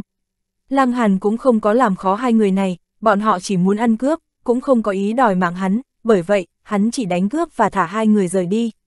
Hắn lần nữa tìm tòi một lần, nhưng cũng không có phát hiện bất cứ tin tức liên quan tới Lam Tinh công chúa, hắn đành phải rời đi. Hiện tại còn thừa lại hai địa phương, cũng chính là hai xóm nghèo. Lam Tinh công chúa đang ở nơi nào? Ở địa phương như vậy, lão đại thế lực ngầm nắm giữ quyền thế cực lớn, ở trên địa bàn của bọn họ, cho dù gió thổi cỏ lay mà bọn họ không biết, khả năng như vậy rất nhỏ. Như vậy, Lam Tinh công chúa không ở hai khu xóm nghèo. Lăng Hàn nghĩ nghĩ, hắn quyết định đi xem, hắn xuất phát đi tới phía đông thành thị, kiến trúc trong thành, trung tâm cao nhất tượng trưng cho hoàng quyền, càng ra ngoài, kiến trúc càng thấp, tới khu vực xóm nghèo này đều là cao mấy trượng, cũng không có san hô hoa lệ tô điểm, hiển lộ ra vẻ rách nát. Lăng Hàn tiến vào nơi này, lập tức hấp dẫn ánh mắt của nhiều người, tất cả đều nhìn sang hắn. Nhưng mà, mọi người chỉ quét viết trước cửa, không hề nói chuyện với hắn. Đi không bao lâu, có hai người bạch tuột ngăn cản hắn. Lão đại của chúng ta muốn gặp ngươi. Một người nói, các lão đại của ngươi là... Lăng Hàn hỏi, Hải Ngạc Trương lão đại. Lăng Hàn nghĩ nghĩ, nói, tốt, vậy thì đi gặp một lần. Được hai tên người bạch tuộc dẫn dắt, hoặc nói là đang cưỡng ép, bọn họ đi tới một kiến trúc hình ốc biển. Phòng rất lớn, Lăng Hàn đi vào, hắn có cảm giác như tiến vào nhà của người khổng lồ. Đúng thế, quốc dân Lam tinh quốc phổ biến hình thể khổng lồ. Chính là người đánh cướp thủ hạ của ta. Một giọng nói vang lên, chỉ thấy có nam tử khỏe mạnh đang ở cuối phòng. Nửa người trên của hắn là người, nhưng nửa người dưới lại là cá sấu, có hai cái chân và cái đuôi thật dài phủ kín vảy màu xanh. a chân cá sấu ngắn sao? Ngươi xem đây là chủng loại gì? Lăng Hàn nói thầm, hắn đã xác định thân phận của đối phương.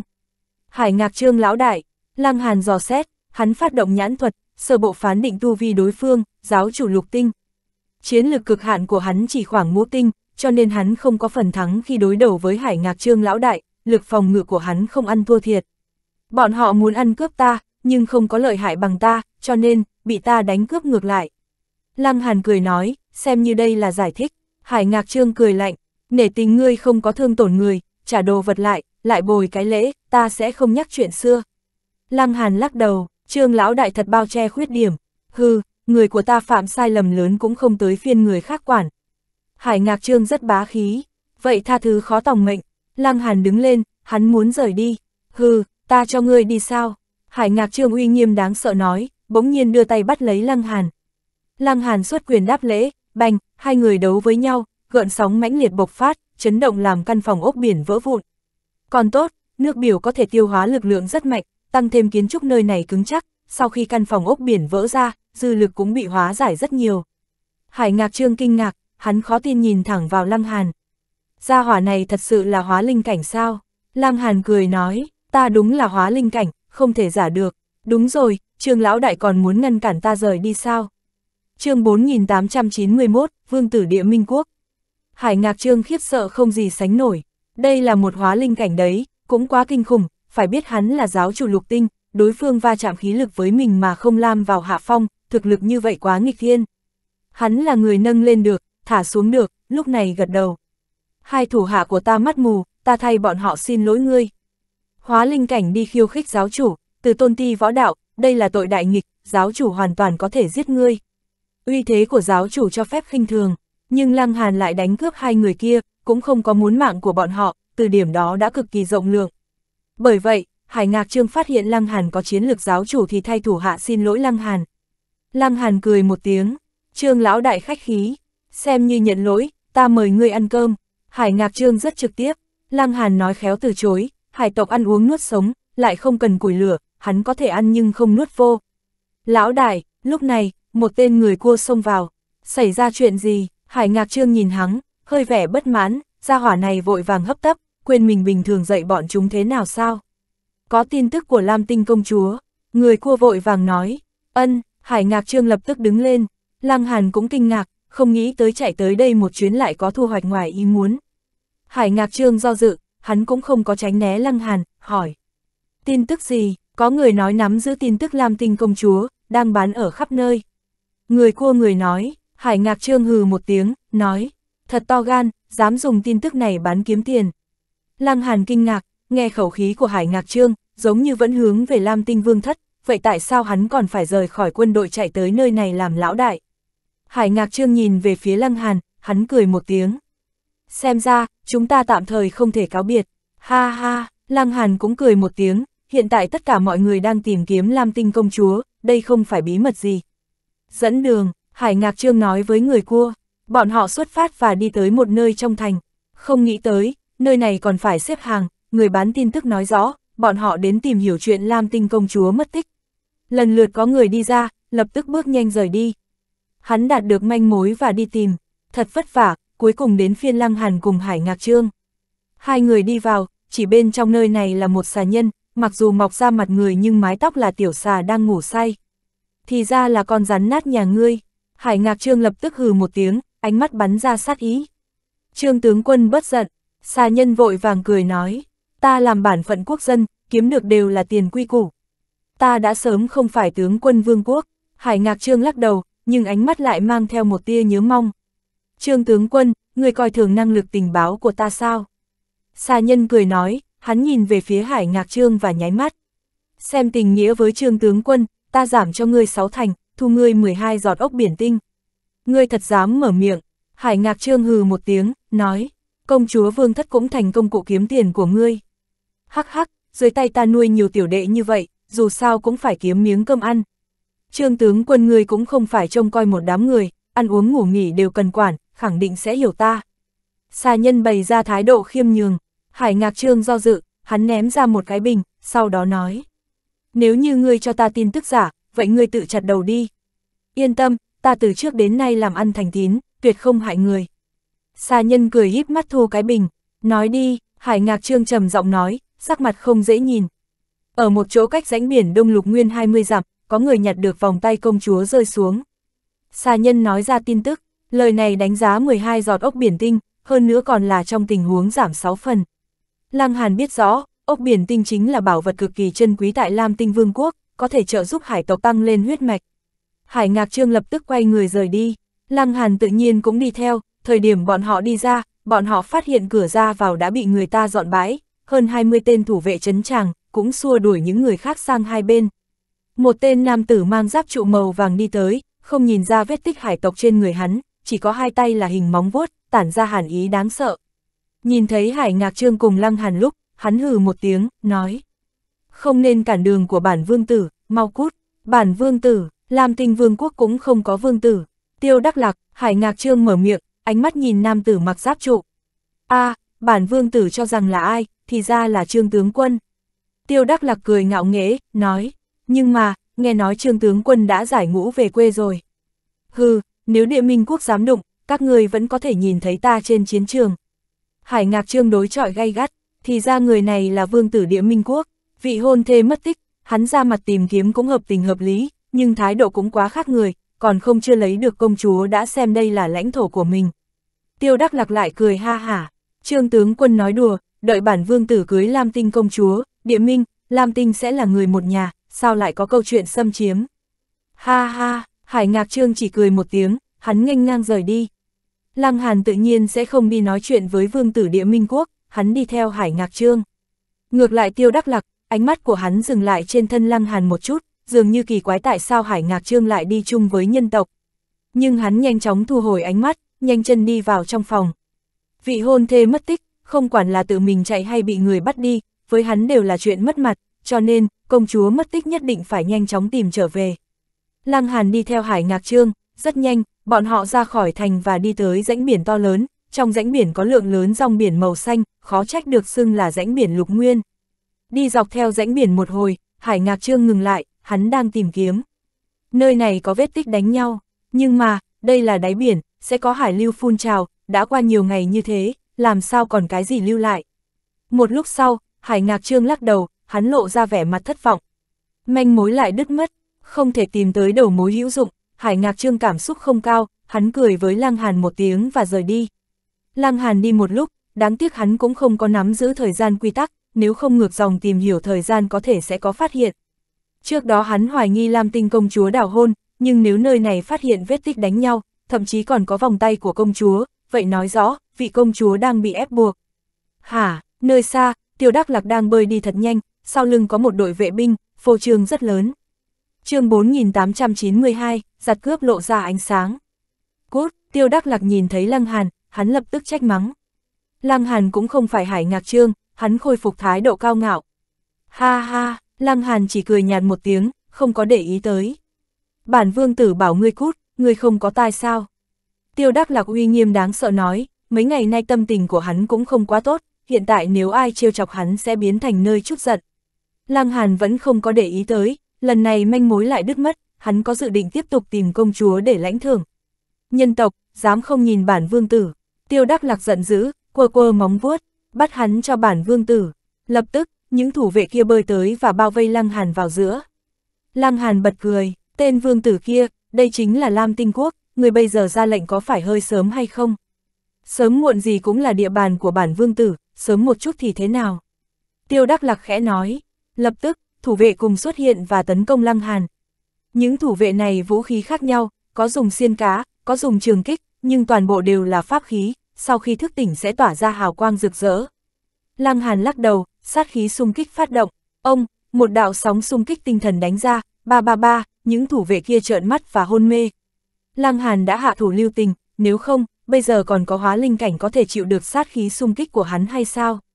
Nhìn thấy vệ binh của chính mình phiêu phù theo hải lưu, tiêu đắc lạc giật mình, hắn càng thẹn quá hóa giận. Hắn giật mình vì thực lực của Lăng Hàn, những thủ vệ hóa linh cảnh của hắn đã ngã xuống, hắn lại tức giận, đường đường vương tử địa minh quốc nhưng không làm gì được một nhân tộc. Nhân tộc, lập tức quỳ xuống đầu hàng, không nên ép bản vương tử tự mình xuất thủ. Hắn nói ra, người mạnh hơn thì thế nào, dù sao cũng chỉ là hóa linh cảnh, mà hắn thì sao? Giáo chủ tứ tinh, Lăng Hàn cười nói, con người của ta nha, từ trước đến nay là người không phạm ta, ta không phạm người, người nhất định phải chọc ta, vậy thì ngươi phải ăn đau khổ. Hắn chủ động giết tới tấn công tiêu đắc lạc, muốn chết, tiêu đắc lạc cười lạnh, hắn vung móng vuốt tấn công, oanh, năm đạo hàn quang đánh về phía lăng hàn. Năm đạo hàn quang đều do đạo tắc ngưng tụ thành, chúng lạnh như hàn băng. Lăng hàn không sợ, hắn đấm ra một quyền ngăn cản hàn quang.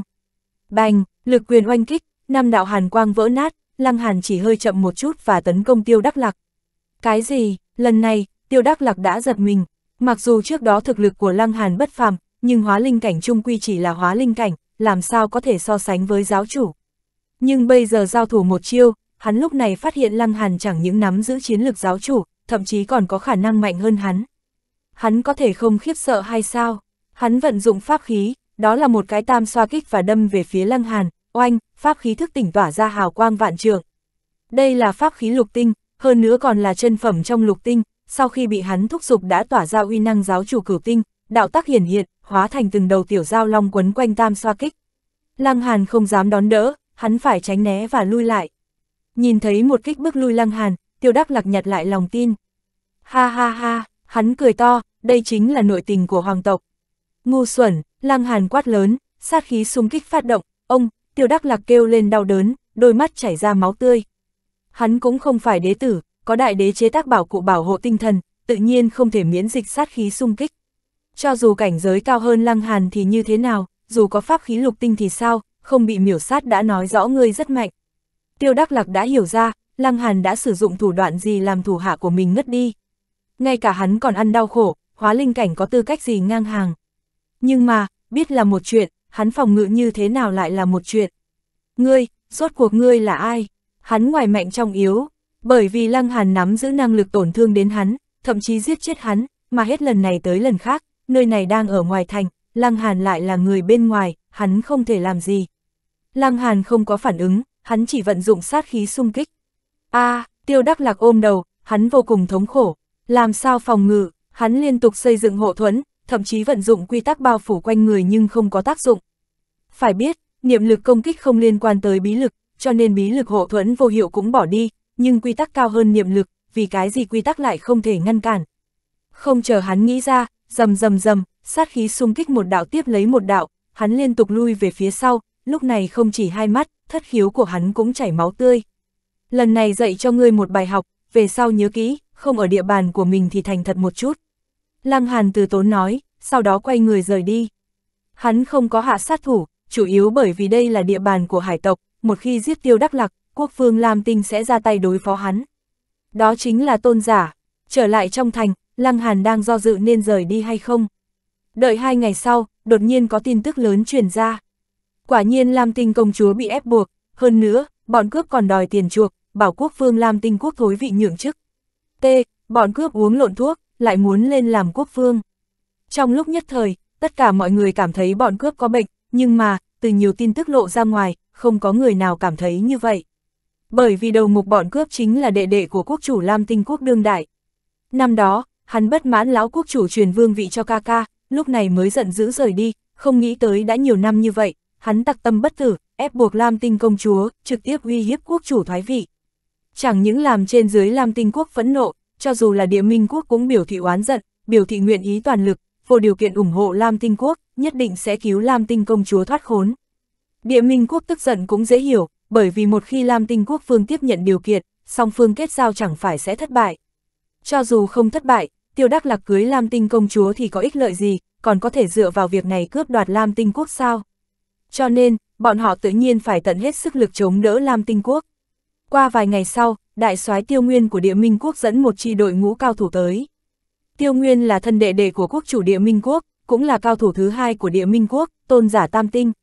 Trong đội ngũ, cường giả giáo chủ nhiều đến 9 người, có thể nói, Địa Minh quốc đã dốc hết tiền vốn, cũng phái một nửa cường giả tới đây. chương 4893, cứu người, thúc thúc, trong hành cung Lam Tinh quốc đặc biệt chuẩn bị vì Địa Minh quốc, Tiêu Đắc Lạc cung kính hành lễ với Tiêu Nguyên. Một là, đây là thúc thúc của hắn, thuộc về trưởng bối, thứ hai, cũng là trọng yếu nhất, người ta chính là tôn giả, một ngón tay cũng có thể nghiền chết hắn. Tiêu Nguyên nhấc tay, hỏi, tình huống bây giờ thế nào? Lam Tinh quốc chủ đang cân nhắc, Tiêu Đắc Lạc nói, Tiêu Nguyên trầm ngâm một lúc, phải nhanh chóng cứu Lam Tinh công chúa ra. Vâng, Tiêu Đắc Lạc gật đầu, lần này kết giao quan hệ tới việc bọn họ chiếm đoạt Lam Tinh quốc, nếu không còn Lam Tinh công chúa, tất cả không có gì để nói. Đi thôi, Tiêu Nguyên phất phất tay, thúc thúc, Tiêu Đắc Lạc muốn nói lại thôi. Chuyện gì? Tiêu Nguyên hỏi, Tiêu Đắc Lạc do dự một chút, mới nói. Chất nhi nghĩ mời thúc thúc đi trấn áp một tên nhân tộc. Ồ, Tiêu Nguyên bật cười, nói, lần này nhân tộc đi vào nơi đây, chẳng lẽ còn có tôn giả hay sao? Tiêu Đắc Lạc lộ ra vẻ mặt xấu hổ, nói, nhân tộc là hóa linh cảnh. Hóa linh cảnh, Tiêu Nguyên lấy làm kinh hãi, hắn nhìn về phía Tiêu Đắc Lạc, trong mắt lộ ra vẻ bất mãn. Ngươi chơi ta sao, hóa linh cảnh cũng cần hắn xuất thủ, ngươi cho rằng ta là ai? Thúc thúc, tên hóa linh cảnh này vô cùng cổ quái, chiến lược chỉ ít có thể so với giáo chủ ngũ tinh. Tiêu Đắc Lạc vội vàng giải thích, Tiêu Nguyên bật cười, tự nhiên không tin, hóa linh cảnh nắm giữ chiến lược giáo chủ cấp, hơn nữa còn là ngũ tinh. Sao ngươi không nói hắn có thể chém giết tôn giả cho xong? Là thật, Tiêu Đắc Lạc vội vàng cường điệu, hắn nói ra chuyện giao thủ với Lăng Hàn. Sau khi Tiêu Nguyên nghe xong, sắc mặt hắn biến thành ngưng trọng, nhưng gương mặt của hắn giãn ra. Mặc cho nhân tộc yêu nghiệt cũng chỉ là hóa linh cảnh, có thể ngang hàng giáo chủ đã là cực hạn, so sánh với tôn giả, chênh lệch quá lớn. Hiện tại trọng điểm là tìm Lam Tinh công chúa, chuyện khác đặt sang một bên. Tiêu Nguyên Cường điệu nói, vâng, Tiêu Đắc Lạc cung kính đáp ứng, hắn cũng không dám phá hỏng đại sự này. Lại qua mấy ngày sau, hang ổ sa giật hành bị lộ ra ngoài. a à, sa giật hành chính là đệ đệ quốc chủ Lam Tinh Quốc, cũng là thủ lĩnh bọn cướp. Chuyện là như thế này, một tên thủ hạ của hắn vào thành tìm hiểu tin tức, lại ngoài ý muốn nói lộ ra miệng, kết quả vừa vặn bị người địa minh quốc bắt được, sau đó nghiêm hình tra tấn ép hỏi ra hang ổ của sa giật hành. Hiện tại, Tiêu Nguyên đã mang theo cao thủ xuất động, muốn đích thân cứu Lam Tinh công chúa trở về. Tin tức truyền ra, người bên ngoài Lam Tinh quốc đều hành động. Bọn họ tự nhiên đánh không lại tôn giả Tiêu Nguyên, nhưng bọn họ cũng không phải muốn chống đỡ chính diện với Tiêu Nguyên, mà là lợi dụng Tiêu Nguyên cùng sa giật hành rằng co, giành trước cứu Lam Tinh công chúa ra ngoài và nhận treo thưởng. Đục nước béo cò nha, ai không biết, Lăng Hàn cũng xuất động, một đám người đi theo đội ngũ Tiêu Nguyên xuất lĩnh rời khỏi thị, liên tiếp hướng Bắc. Dứt bỏ ở dưới nước, kỳ thật đáy biển không khác gì mặt đất, mặc dù không có cây cối nhưng lại có san hô rong biển, mặc dù âm u nhưng võ giả vẫn nhìn thấy rõ ràng. Liên tiếp vượt qua rất nhiều rãnh biển, đỉnh núi, cuối cùng bọn họ đi tới khu rừng san hô. Hang ổ của sa giật hành ở đây, oanh, tiêu nguyên phóng thích khí thức bản thân như nước thủy triều cuồn cuộn, hắn lại truyền âm với tiêu đắc lạc. Ta sẽ ngăn chặn sa giật hành, người nhân cơ hội cứu Lam Tinh công chúa ra ngoài. Hắn cũng không có nói muốn chấn sát sa giật hành, bởi vì sa giật hành cũng là tôn giả, nhiều lắm chỉ hơi kém hơn hắn một chút, muốn giết chết nói nghe thì dễ. Vâng, thúc thúc, tiêu đắc lạc gật đầu, đây là cơ hội cho hắn biểu hiện, cứu được người trong lúc bất lực nhất, tâm thiếu nữ dễ dàng bị cảm động, khẳng định sẽ cảm mến hắn. Tiêu Nguyên, giọng nói trầm thấp vang lên, chỉ thấy một tên nam tử bước ra khỏi bụi san hô, long hành hổ bộ, khí chất vương giả 10 phần. Sa giật hành, tiêu nguyên quát lớn, giao lam tinh công chúa ra, nếu không, hôm nay ta sẽ lấy thủ cấp của ngươi. Sa giật hành cười nhạt một tiếng, ngươi không hảo hảo ở lại địa minh quốc, chạy tới đây làm cái gì? Ha ha, lúc nào địa minh quốc trở thành chó săn của sa thông vũ rồi? Hừ, xem ra, ngươi muốn bức ta động thủ. Tiêu Nguyên lập tức lao tới chém giết sa giật hành. Ngươi chỉ là tôn giả nhị tinh, cho rằng ta không biết lai lịch của ngươi sao? Hai người giao thủ, oanh, thanh thế kinh thiên động địa bộc phát. Đây chính là tôn giả chiến đấu. Đi, Sa Đắc Lạc phất phất tay, ra hiệu những cao thủ giáo chủ đuổi kịp. Hắn cực kỳ yên tâm, thúc thúc của mình chính là tôn giả tam tinh, tự nhiên sẽ nắm chắc thắng lợi. Hơn nữa, Tiêu Nguyên cũng không muốn giết chết Sa Giật Hành, tự nhiên không có khả năng làm thật chặt và liều mạng với Sa Giật Hành. Không chỉ là hắn, những người khác cũng đi theo vào rừng san hô. Dù sao đây chính là hang ổ của Sa Giật Hành, trời mới biết còn có bao nhiêu cao thủ mai phục, tự nhiên phải cẩn thận một chút. Nhưng mà, khi mọi người xâm nhập, bọn họ cũng không có lọt vào phục kích, địa hình rừng san hô phức tạp, đi vòng quanh đều phát hiện người mình. Lăng Hàn cũng tiến vào rừng san hô, nhưng hắn rất bất hạnh, hắn đụng phải quan tinh hắn trước tiên, đối phương lập tức ra tay tấn công hắn. Hắn không ham chiến, Lăng Hàn lập tức bỏ chạy, sau đó sử dụng quỷ ảnh lặng lẽ quay trở về. Nếu như không phải vội vã muốn tìm Lam Tinh công chúa, Lăng Hàn cũng không để ý ám sát quan tinh hán, nhưng song phương tranh lệch cảnh giới cực lớn, dù hắn đánh lén đắc thủ cũng sẽ bị phản phệ, bỏ ra cái giá tương đối lớn. Cho nên, hắn quyết định đi tìm kiếm Lam Tinh công chúa. Dương san hô cực kỳ phức tạp, nhưng không chịu nổi năng lực thôi diễn cường đại của Lăng Hàn, hắn nhanh chóng tìm ra đầu mối, hắn tìm thấy con đường mình chưa đi qua. Qua gần nửa ngày, hắn xuyên qua một cái động san hô, phía trước sáng sủa, hiện ra một tòa kiến trúc hình ốc biển, không phải rất cao, bằng không khó mà che giấu trong rừng san hô. Hắn sử dụng thần thức cảm ứng, phát hiện trong phòng có người. Là Lam Tinh công chúa sao? Thần thức quan sát nói cho Lăng Hàn tất cả chi tiết, dường như hắn giang dùng mắt thường nhìn. Đây là một cái nhân ngư, nửa khúc trên là thân người, nửa đoạn dưới là đuôi cá, tóc màu đỏ thấm, xinh đẹp kinh người. Hóa linh cảnh, Lăng Hàn cảm ứng được tu vi của đối phương, hắn cất bước đi vào. Phốc, người cá đang ăn cái gì đó, nhìn thấy Lăng Hàn đi tới, lập tức phun đồ vật ra ngoài, sau đó ngơ ngác nhìn Lăng Hàn, trên mặt mang theo kinh ngạc. Đây là bộ dáng bị cầm tù sao? Lăng Hàn nhoẻn miệng cười, công chúa điện hạ, nên trở về nhà. Người cá ngây ngốc nhìn hắn, tại sao là ngươi, thúc thúc đâu, khốn kiếp, dường như đây là cái hố to. chương 4894 có hố, nhìn thấy có người tới cứu, lúc này Lam Tinh công chúa không mừng rỡ như điên. Nhưng vẻ mặt của nàng là gì? Là chấn kinh, còn nữa, là một con tin, vì cái gì nàng có tâm tình ăn uống. Hơn nữa, nàng còn gọi xa giật hành là thúc thúc. Có quỷ, có hố. Đương nhiên, hố này không phải đào cho hắn, mà là nhằm vào địa minh quốc. Lăng Hàn cảm thấy tất cả đều trùng hợp. Người xem, trong tình huống không có manh mối, đột nhiên có tư liệu công chúa bị bắt cóc truyền ra, thông qua miệng của xà nhân báo ra ngoài, từ đó dẫn bọn họ đi rãnh biển lục nguyên, sau đó thuận thế dẫn xuất xa giật hành. Bởi vì dính đến vấn đề chiếm đoạt Lam Tinh Quốc, địa minh quốc ngồi không yên, phái ra tiêu nguyên tới hiệp trợ, sợ xa thông vũ gánh không được mà nhường vương vị ra. Thật trùng hợp, hết lần này tới lần khác thủ hạ xa giật hành lại đụng phải người địa minh quốc, còn nói lỡ miệng, lộ ra ngoài vị trí hang ổ của xa giật hành. Tất cả đều quá khéo, giống như tận lực an bài. Lăng Hàn nuốt nước bọt, trên mặt nở nụ cười, nói. Ta tên là Lăng Hàn, cố ý tới cứu công chúa điện hạ. Ta không cần ngươi cứu, ngươi đi đi. Lam tinh công chúa phất phất tay, dáng vẻ suốt ruột đuổi người. Ách, so với huynh đệ xa ra lão gian cử hoạt, vị công chúa này không có tâm cơ gì. Nhưng mà, cũng chính vì như thế mới lộ ra nàng đáng yêu. Công chúa điện hạ không cần sợ, thúc thúc của ngươi bị tiêu nguyên cuốn lấy, hiện tại là thời cơ đào tẩu tốt nhất. Lăng Hàn nói, cố ý trêu chọc vị công chúa này. Lam tinh công chúa vội vàng lắc đầu, ngươi không hiểu, ta không hiểu cái gì.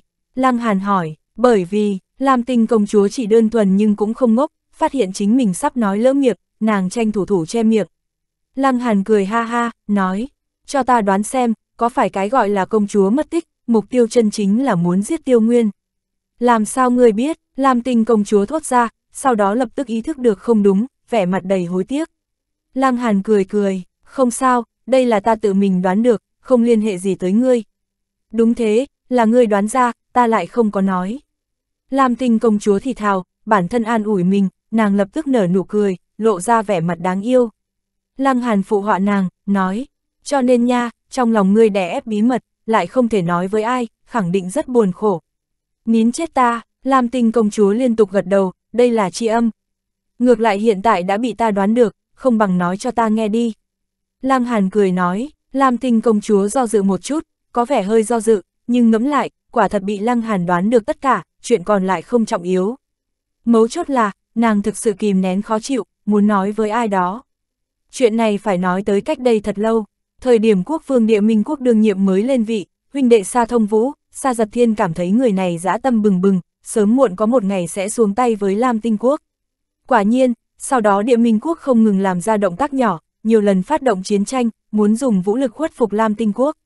Nhưng mà, Lam Tinh Quốc có thượng cổ đại trận thủ hộ, cho dù quốc lực chỉnh thể không bằng địa minh quốc, nhưng địa minh quốc muốn hủy diệt Lam Tinh Quốc cũng khó khăn. Nhưng cũng không có biện pháp, ai nguyện ý bị người ta đẻ đánh. Thế là, huynh đệ Sa Thông Vũ bắt đầu bố cục. Đầu tiên, bọn họ chế tạo dấu hiệu huynh đệ tranh vương vị bất hòa, Sa giật hành giận dữ rời đi, từ đó Lam Tinh Quốc như đánh gãy một tay. Sau đó, địa minh quốc không ngừng tăng cường áp bách, Lam Tinh Quốc bày ra tư thái cầu hòa, ý muốn cho hai quốc chữ thành hôn. Đối với địa minh quốc mà nói, đây là việc cầu còn không được. Chỉ cần sinh hạ hậu đại nắm giữ huyết mạch Lam Tinh Vương thất, bọn họ có thể điều khiển thượng cổ đại trận của Lam Tinh Quốc, hoàn thành mộng tưởng chiếm đoạt Lam Tinh Quốc. Đây là cái hố to. Lam Tinh Quốc chế tạo giả tượng công chúa mất tích, đương nhiên vì lý do chân thật, Lam Tinh công chúa quả thật bị mang ra khỏi vương cung, hơn nữa là bị sa giật hành xú danh rõ ràng bắt cóc.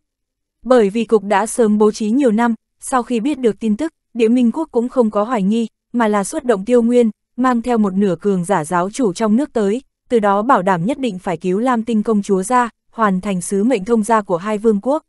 Nhưng chờ đợi tiêu nguyên lại là huynh đệ xa Thông Vũ cùng xa Giật Hành liên thủ. Chỉ cần tiêu nguyên vừa chết, cộng thêm mất đi một nửa cường giả giáo chủ, địa minh quốc sẽ tổn thương nguyên khí nặng nề, đừng nói xâm lược Lam Tinh quốc, chỉ có thể dựa vào thượng cổ đại trận kéo dài hơi tàn.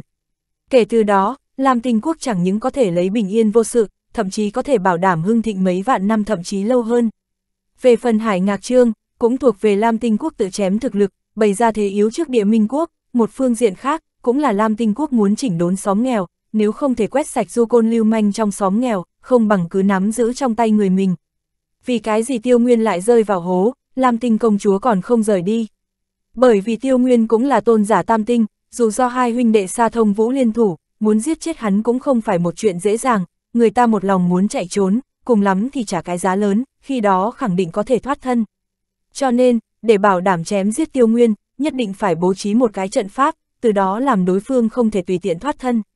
Hơn nữa, tôn giả quá cường đại, trận pháp này không thể bố trí từ sớm, có chút khí tức tiết lộ, tiêu nguyên sẽ nhìn ra mánh khóe.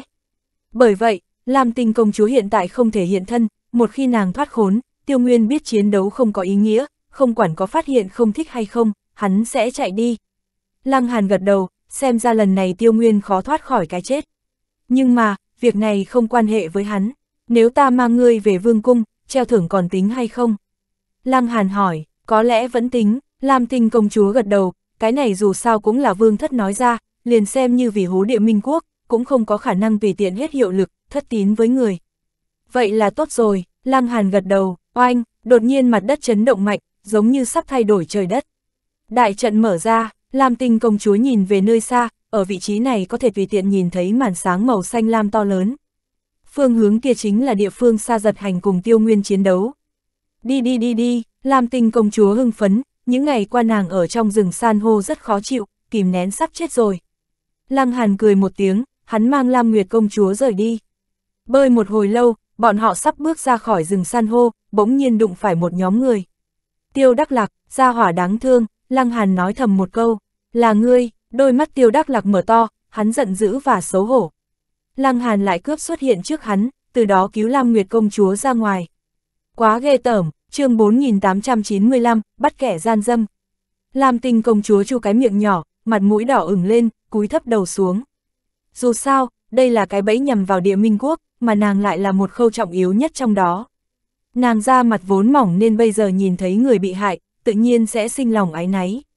Có điều, cảnh này lại để cho tiêu đắc lạc nhìn thấy, trong lòng hắn lập tức nổi lên hoài nghi. Tại sao vừa nhìn thấy hắn thì làm dáng vẻ giống như đã làm sai chuyện? Rõ ràng là bị bắt cóc nhưng lại giống như đang phản bội hắn.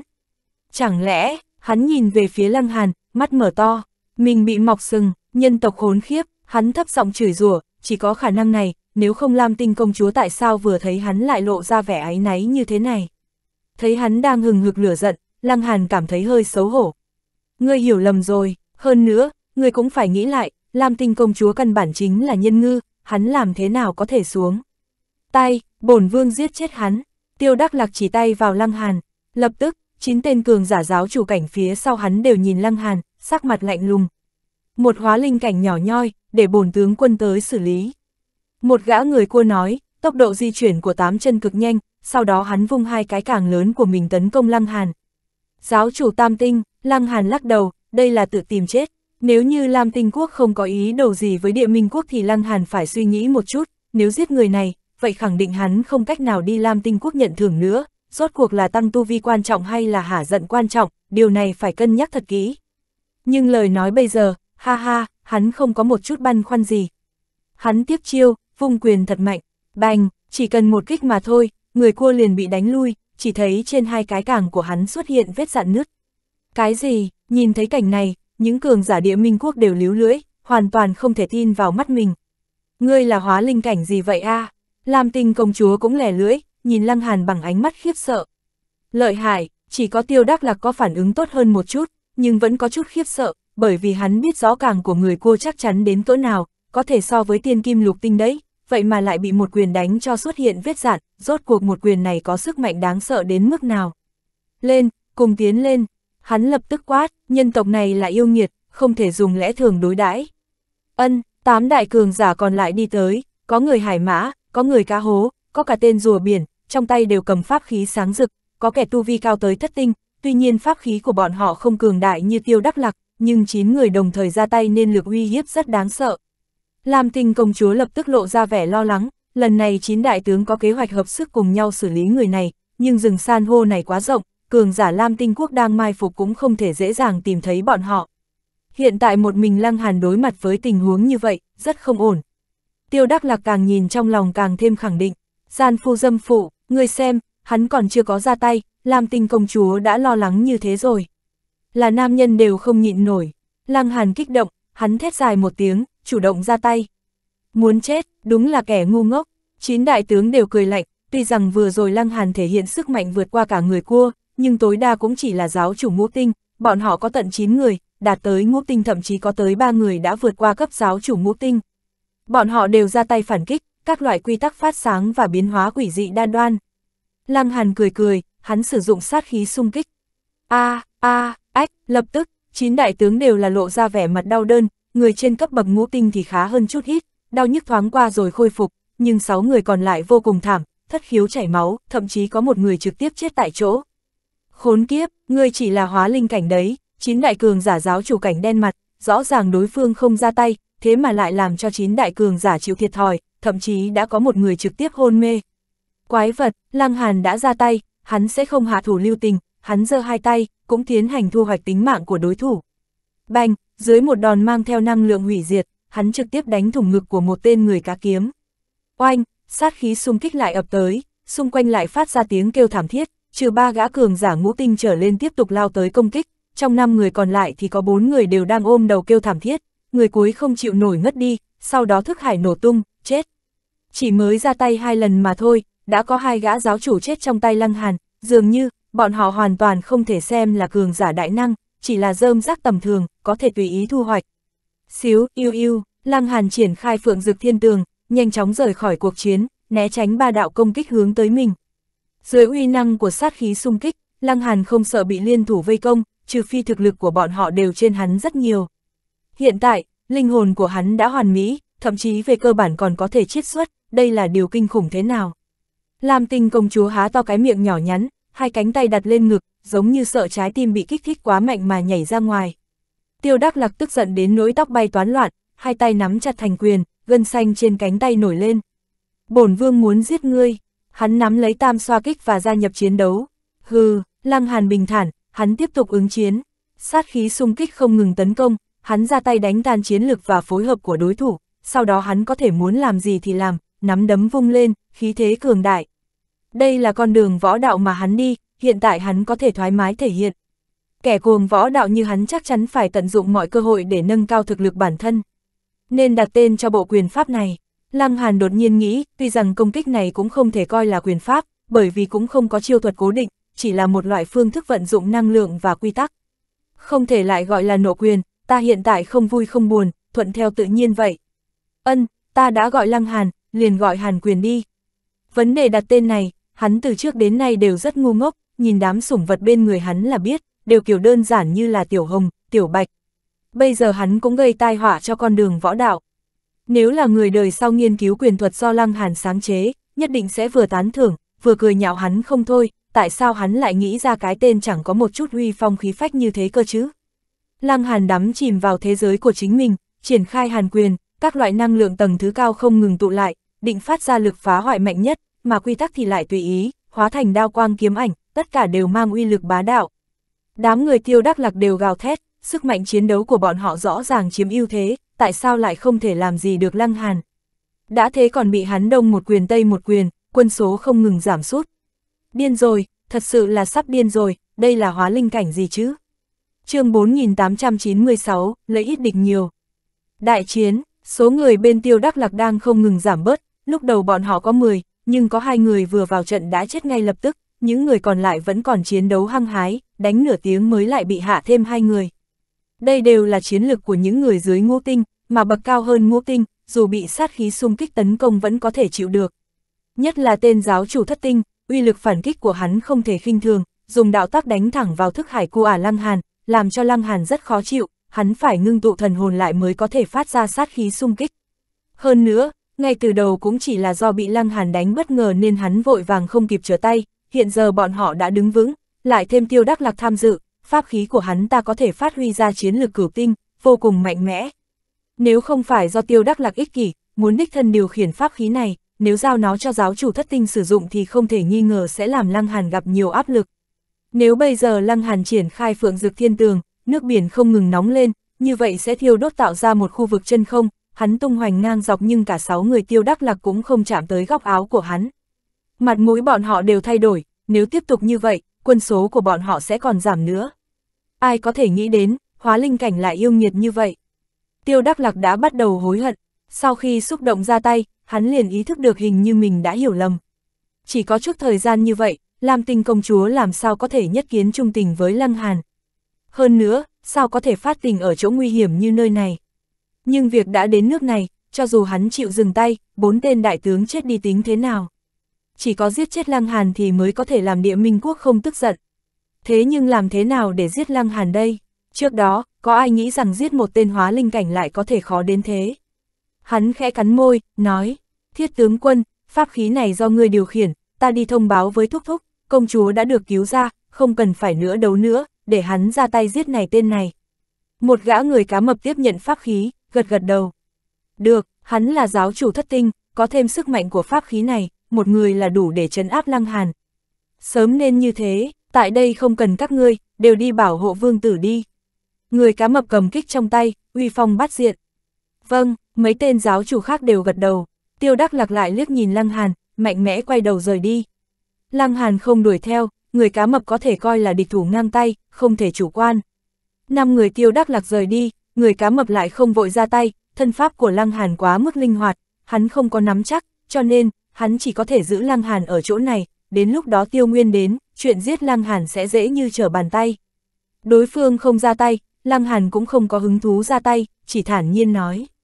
Chỉ muốn báo cho ngươi một tin buồn, lần này, vị tiêu đại soái kia của các người tiêu đời rồi. Hả, người cá mập cười lạnh, nói năng ngông cuồng, Lăng Hàn nhún nhún vai, tin hay không tùy ngươi, Người có thể đợi a lát nữa người đến là tiêu nguyên hay kẻ muốn giết ngươi. Người cá mập biến sắc, hắn cẩn thận hồi tưởng lại những gì đã trải, sau đó, sắc mặt hắn càng ngày càng khó coi, thậm chí thân thể phát run.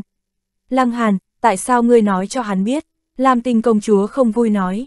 Lăng Hàn cười cười, không sao, dù sao tiêu nguyên đã lọt vào trong đại trận, có hai đại cường giả vây giết, hắn giờ đã là cá trong ao, chẳng xoay chuyển được kết cục đâu. Cũng đúng, Lam tinh công chúa quả nhiên dễ bị lừa, gật gật đầu. Nghe nói như thế, trong lòng người cá mập càng thêm tuyệt vọng. Đây là cái bẫy sao? Hắn vội vàng quay người đuổi theo mấy người tiêu đắc lạc. hắn muốn ngăn cản năm người này, dù đã không cứu được tiêu nguyên, ít nhất cũng phải lưu lại cho địa minh quốc người thừa kế, nếu không, trong mấy vạn năm sẽ bị Lam Tinh quốc chèn ép. Đi, Lăng Hàn hướng Lam Tinh công chúa nói, ồ, người muốn lãng phí những thi thể này sao? Lam Tinh công chúa chỉa chỉa vào bốn gã giáo chủ bị Lăng Hàn giết. Lăng Hàn thoáng khiếp sợ, không nghĩ tới người có khẩu vị nặng như vậy, bọn họ là quái hình người, ta ăn không nổi. Tuy rằng đây là một con cua to đùng nhìn trông rất hấp dẫn, súp hải sản rất ngon đấy. Lam tinh công chúa lườm hắn một cái. Không đúng không đúng, trong cơ thể cường giả cấp giáo chủ có đạo quả, trong đạo quả có tiên khí, người không biết sao. Đúng vậy, Lăng Hàn sướng sờ, tiên khí không chỉ ở trong thiên tài địa bảo mới có, trên người cấp giáo chủ cũng có. Không thể lãng phí, nếu bốn gã hải tộc là người, dù cho biết rõ trong cơ thể đối phương có tiên khí có thể chất lọc, Lăng Hàn sẽ không lấy, nhưng dị tộc thì không sao cả, xem như giết con cá, giết con cua thôi, dù sao không ăn là được. Nhanh lên, nếu đạo quả không nhanh chóng lấy đi sẽ bị thiên địa hấp thụ. Lam tinh công chúa nhắc nhở, Lăng Hàn tới chỗ người cua, hắn lấy ra một thứ sáng lóng lánh trong đầu người cua, thứ này chỉ to bằng ngón út, lại ẩn chứa năng lượng kinh người. Đạo quả, cùng với sự chuyển động của ánh sáng, năng lượng đã nhanh chóng biến mất, trả lại cho thiên địa. Lăng Hàn vội vàng vận chuyển đế kinh hấp thu năng lượng trong đạo quả, nhưng phần nhiều không cách nào hấp thụ, mà tiên khí cũng chỉ có thể chắt lọc được một tia nhỏ. Tương tự với ba gã đại tướng hải tộc còn lại, hắn lấy được bốn sợi tiên khí, ít đến thảm thương. Không quá tinh khiết, hoàn toàn không thể so sánh với huyền thiên đạo liên, có lẽ ta cần luyện hóa được 100 đạo quả giáo chủ, về số lượng mới sánh bằng, nhưng về chất thì chênh lệch rất lớn. Khá tốt, ta hiện tại chỉ cần tăng cường cho vị diện, không cần tiên khí chất lượng quá cao. Về sau bước lên tiểu thừa cảnh, phương pháp này sẽ không thể dùng nữa. Lăng Hàn dừng suy nghĩ, hắn gật đầu với Lam Tinh công chúa. Đi thôi, quay trở lại Hoàng cung, bọn hắn tiếp tục tiến về phía trước, không bao lâu thì lại gặp một đám người. Những kẻ này từ ngoài tiến vào, cũng muốn đi tìm công chúa, nhận lấy giải thưởng. Lam Tinh công chúa, đây là một tiểu đội, tổng cộng có 7 người, sau khi nhìn thấy Lam Tinh công chúa thì đều tỏ ra vừa sợ hãi vừa vui mừng. Tuy bọn họ chưa từng nhìn thấy Lam Tinh công chúa, nhưng một bên là nhân tộc từ bên ngoài đến, một bên khác lại là một mỹ nhân ngư, kẻ đần cũng có thể đoán ra được. Lúc này, Lăng Hàn cười thầm trong lòng, khó trách vương thất treo giải thưởng tìm kiếm công chúa thất lạc, nhưng đến cả một bức họa cũng đều không có công bố ra, thì ra căn bản không có thành tâm muốn tìm. Hiện tại nghĩ lại, rõ ràng là lỗ thủng, bảy người này lại nhìn về phía Lăng Hàn, trong lòng sợ hãi.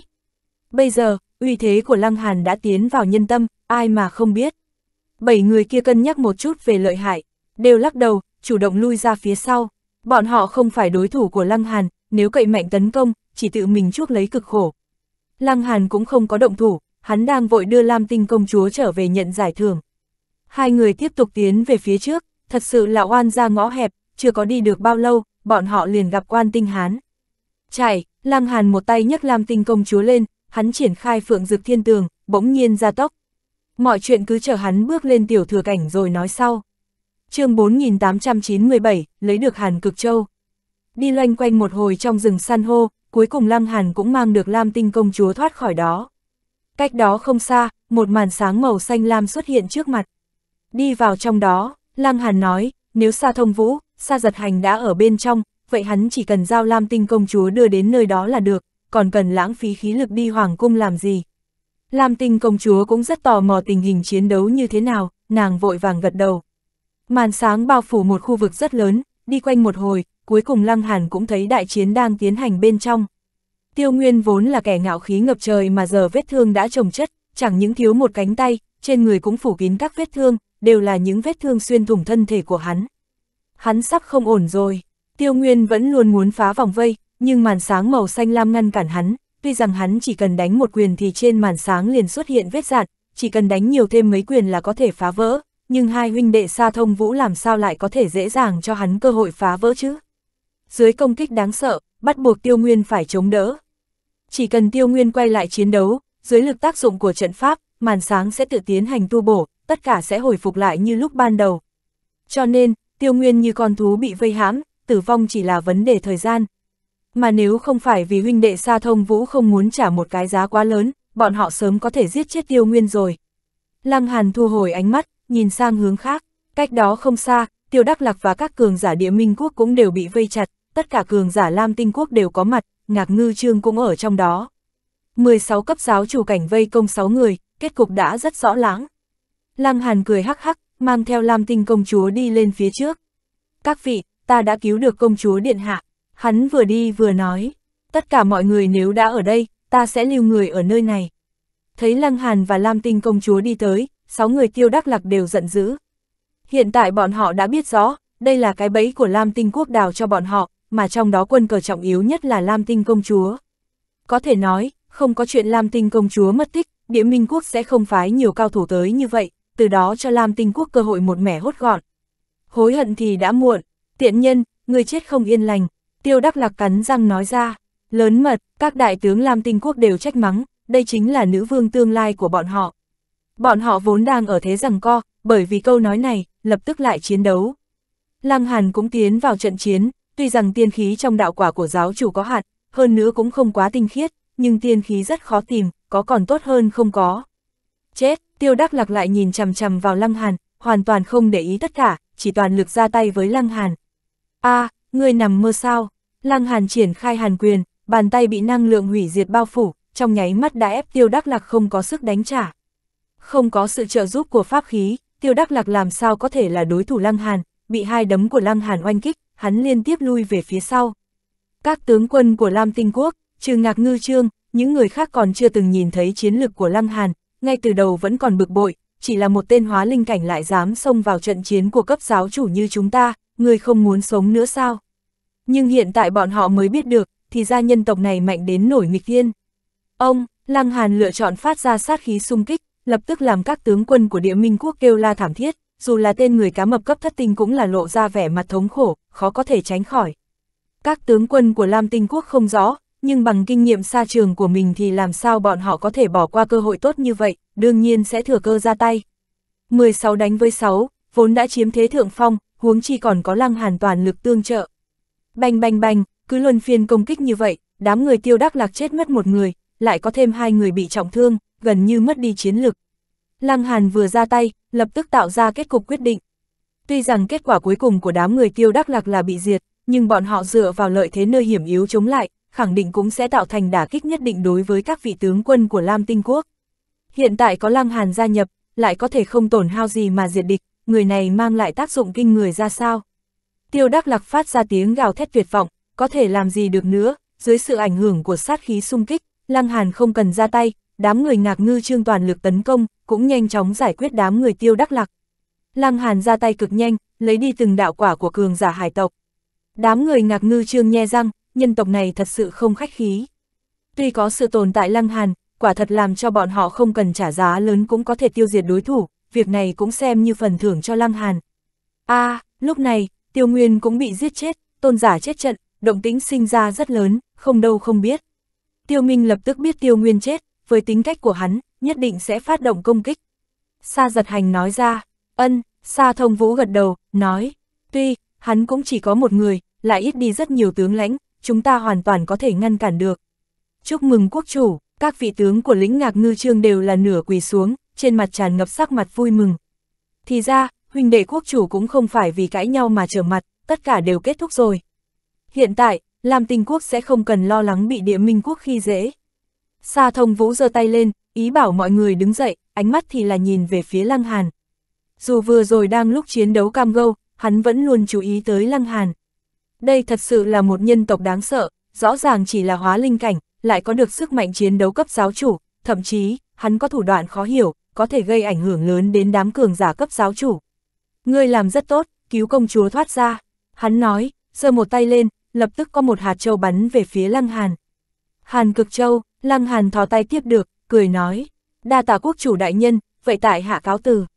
Hắn không có hứng thú tham dự đấu tranh của hải tộc, đối với hắn mà nói, trọng yếu nhất là tăng tu vi, sớm một ngày tiến lên cấp giáo chủ cảnh.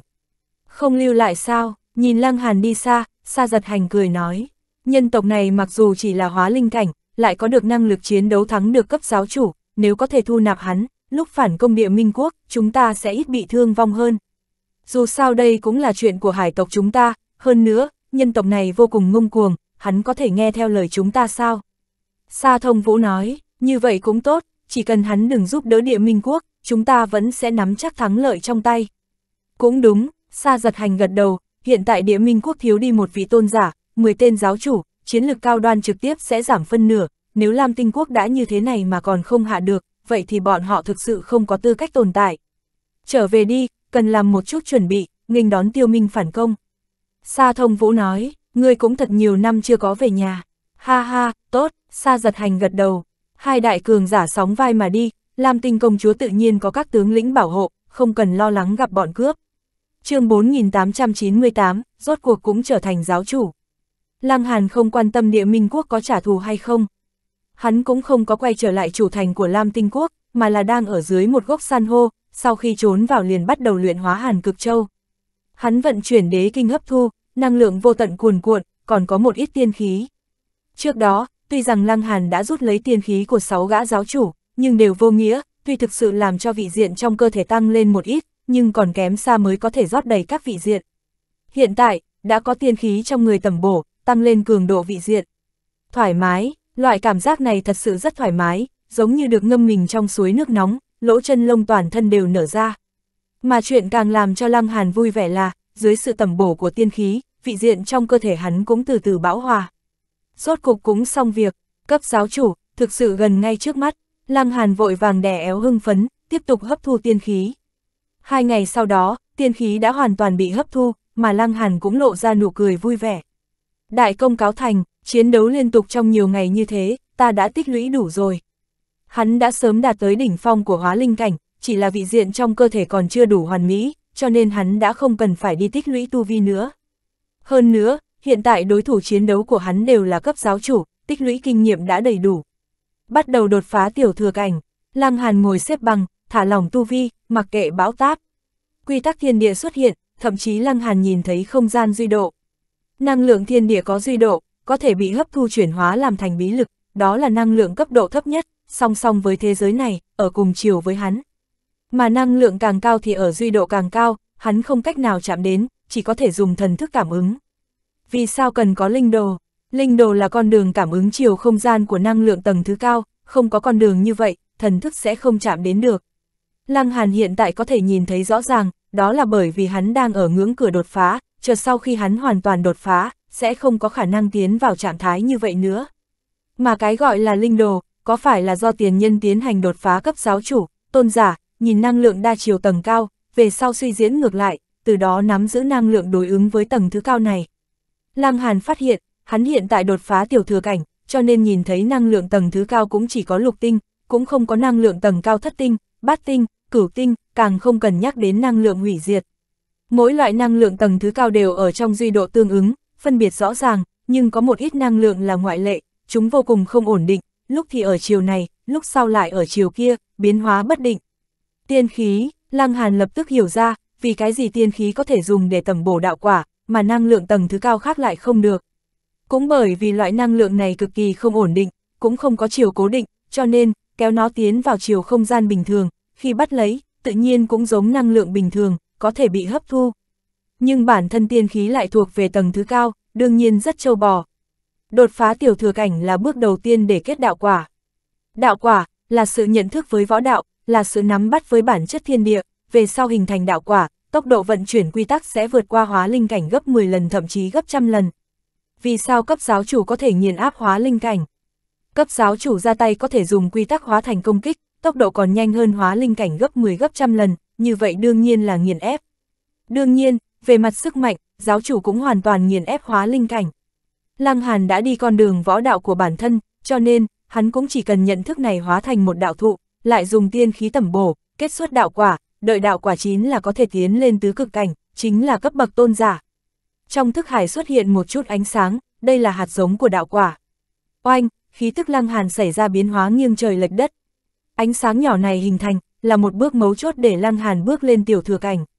Tuy đúng là như thế, thần thức của lăng hàn đã không nhìn thấy năng lượng không gian đa chiều. Không sao, có linh đồ là có thể rút ra năng lượng không gian đa chiều, còn tiên khí thì chỉ cần xuất hiện ở trong thiên địa, hắn có thể cảm ứng được, tiến hành bắt lấy. Trước kia ta tương đương với giáo chủ ngũ tinh, hiện tại ta chính thức bước lên cấp giáo chủ, ta mạnh thêm bao nhiêu. Lăng Hàn tùy ý vỗ tay, sức mạnh cuồn cuộn bắt đầu khởi động, quy tắc biến hóa giữa tay hắn, hình thành các loại hình thái như thần binh, hung thú. Tăng lên mạnh nhất vẫn là cách vận dụng quy tắc, lực lượng nhiều lắm chỉ tăng lên một tinh.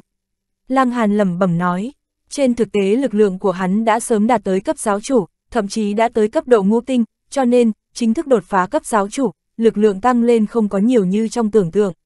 Nhưng tốc độ vận chuyển quy tắc của hắn nhanh hơn, vượt xa cấp giáo chủ bình thường, đây mới là điểm mà chiến lực của tăng lên lớn nhất. Cảnh giới càng cao, ưu thế sức mạnh lại càng nhỏ, tầm quan trọng của linh hồn càng cao. Điều động quy tắc đương nhiên là thuộc về năng lực thần thức, mà muốn rút năng lượng tầng thứ cao cũng giống như vậy, đến bước này, tầm quan trọng của thần thức được nâng lên một cách rõ ràng.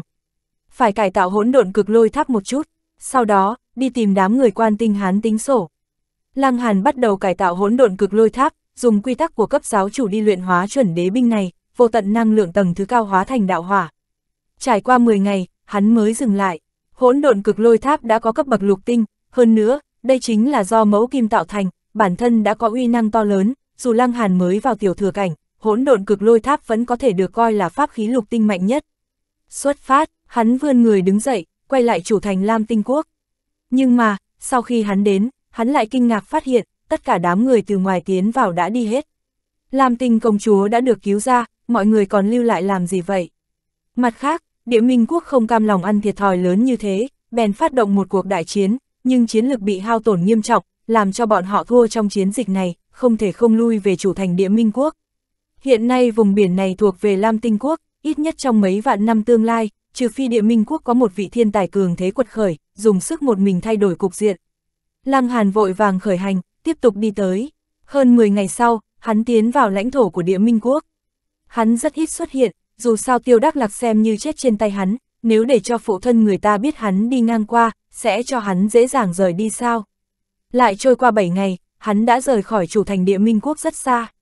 Sau đó, hắn không có gì phải lo lắng nữa. Lăng Hàn triển khai phượng dực thiên tường, nhưng lúc này đây, hắn kinh ngạc phát hiện, trong không gian có một đạo quỹ tích, khi hắn đi theo những này quỹ tích này, tốc độ lập tức lại tăng vọt gấp 10 lần.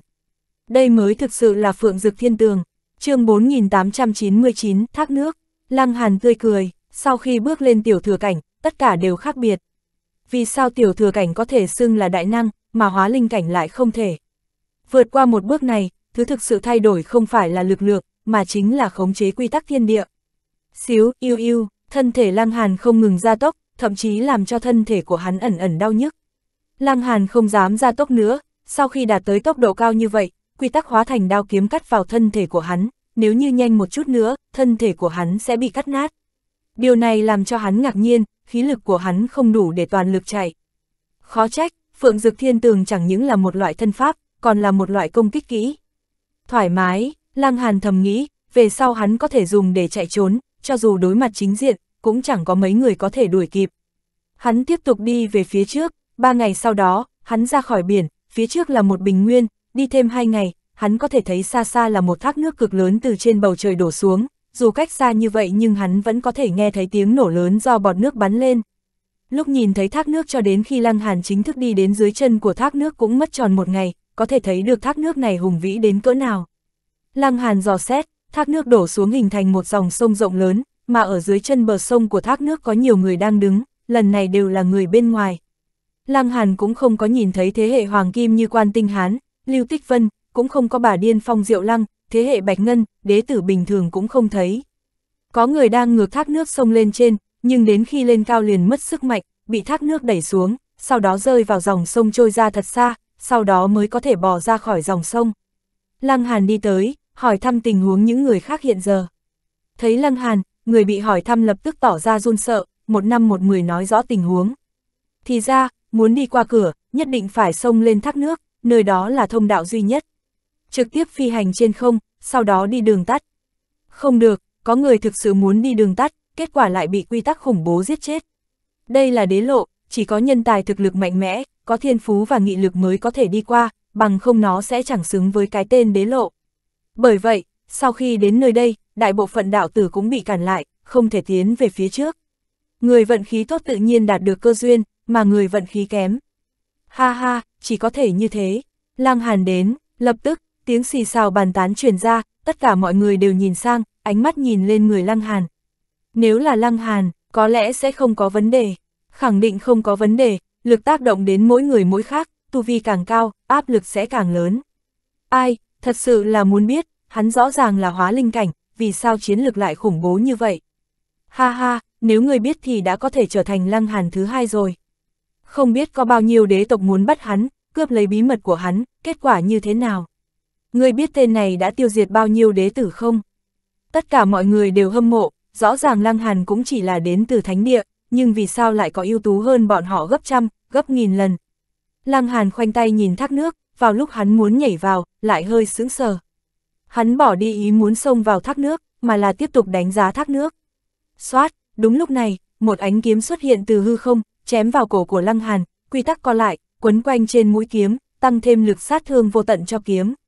Quỷ ảnh bộ, sát thủ chiến thần cung, kẻ ra tay, rõ ràng là một gã giáo chủ, hơn nữa còn là cấp bậc bát tinh. Nếu như Lăng Hàn vẫn là thập biến, nếu hắn không sớm phản ứng lại, cho dù hắn có được thân pháp tuyệt thế là Phượng Dực Thiên Tường, hắn vẫn bị một kiếm này chém rơi đầu, căn bản là tránh không kịp. Nhưng nếu là bây giờ, ha ha, Lăng Hàn vươn tay nắm lấy, ba, mũi kiếm liền bị nắm chặt trong tay hắn. Vì sao các ngươi cứ luôn vui vẻ tặng đầu của mình khi ta đã đột phá cảnh giới? Lăng Hàn lắc đầu, hiện tại, tuy rằng hắn là giáo chủ nhất tinh, nhưng về chiến lược thì ngay cả hắn cũng không biết mình mạnh đến mức nào. Sát thủ cấp giáo chủ kia sững sờ, không nghĩ tới Lăng Hàn lại phản ứng nhanh như vậy, hơn nữa sức mạnh cũng cường đại như thế, ngay cả đánh lén như thế cũng có thể đỡ được. Tiểu thừa cảnh, sát thủ kia kinh ngạc, không nghĩ tới Lăng Hàn lại đột phá ở thời điểm mấu chốt như thế. Hắn lập tức tỉnh ngộ, khó trách Lăng Hàn tới muộn như vậy, trước đó nhất định là núp ở chỗ nào đó đột phá. Đáng chết, hắn không chút do dự vứt kiếm, quay người bỏ chạy. Là một sát thủ có nguyên tắc, hắn từ trước đến nay luôn chỉ đánh một kích rồi rời đi, tuyệt không ham chiến. Đi được sao, Lăng Hàn đánh ra một quyền, oanh, quy tắc như nước chảy mây trôi, hóa thành một sợi dây thường trói chặt sát thủ kia lại. Ánh sáng bạc lóe lên, sát thủ kia lại lấy ra một thanh kiếm chém tới. Bành, một kiếm chém xuống, sợi dây thừng vẫn không đứt. Sát thủ kia kinh hãi, trường kiếm trong tay hắn tuy rằng không phải pháp khí, sau khi được hắn cải tạo thì đã đủ để bạo phát huy lực của cấp bậc giáo chủ cửu tinh, vậy mà không thể chặt đứt được dây thừng do quy tắc hóa thành của Lăng Hàn. Tốc độ trưởng thành của Lăng Hàn quá nhanh, tuy chỉ mới 100 tuổi mà hắn đã bước lên đến cấp giáo chủ, so sánh với thế hệ Hoàng Kim, nói về chiến lược ngang tay, ngay cả thế hệ Hoàng Kim cũng chỉ có thể chố mắt nhìn theo. Hắn tiến vào đế lộ cũng không phải cố ý tới giết Lăng Hàn, mà chủ yếu vì tranh đoạt cơ duyên, đã nhìn thấy Lăng Hàn, hắn đương nhiên không thể bỏ qua. Nhưng mà, kết quả lại làm hắn hối hận vô cùng.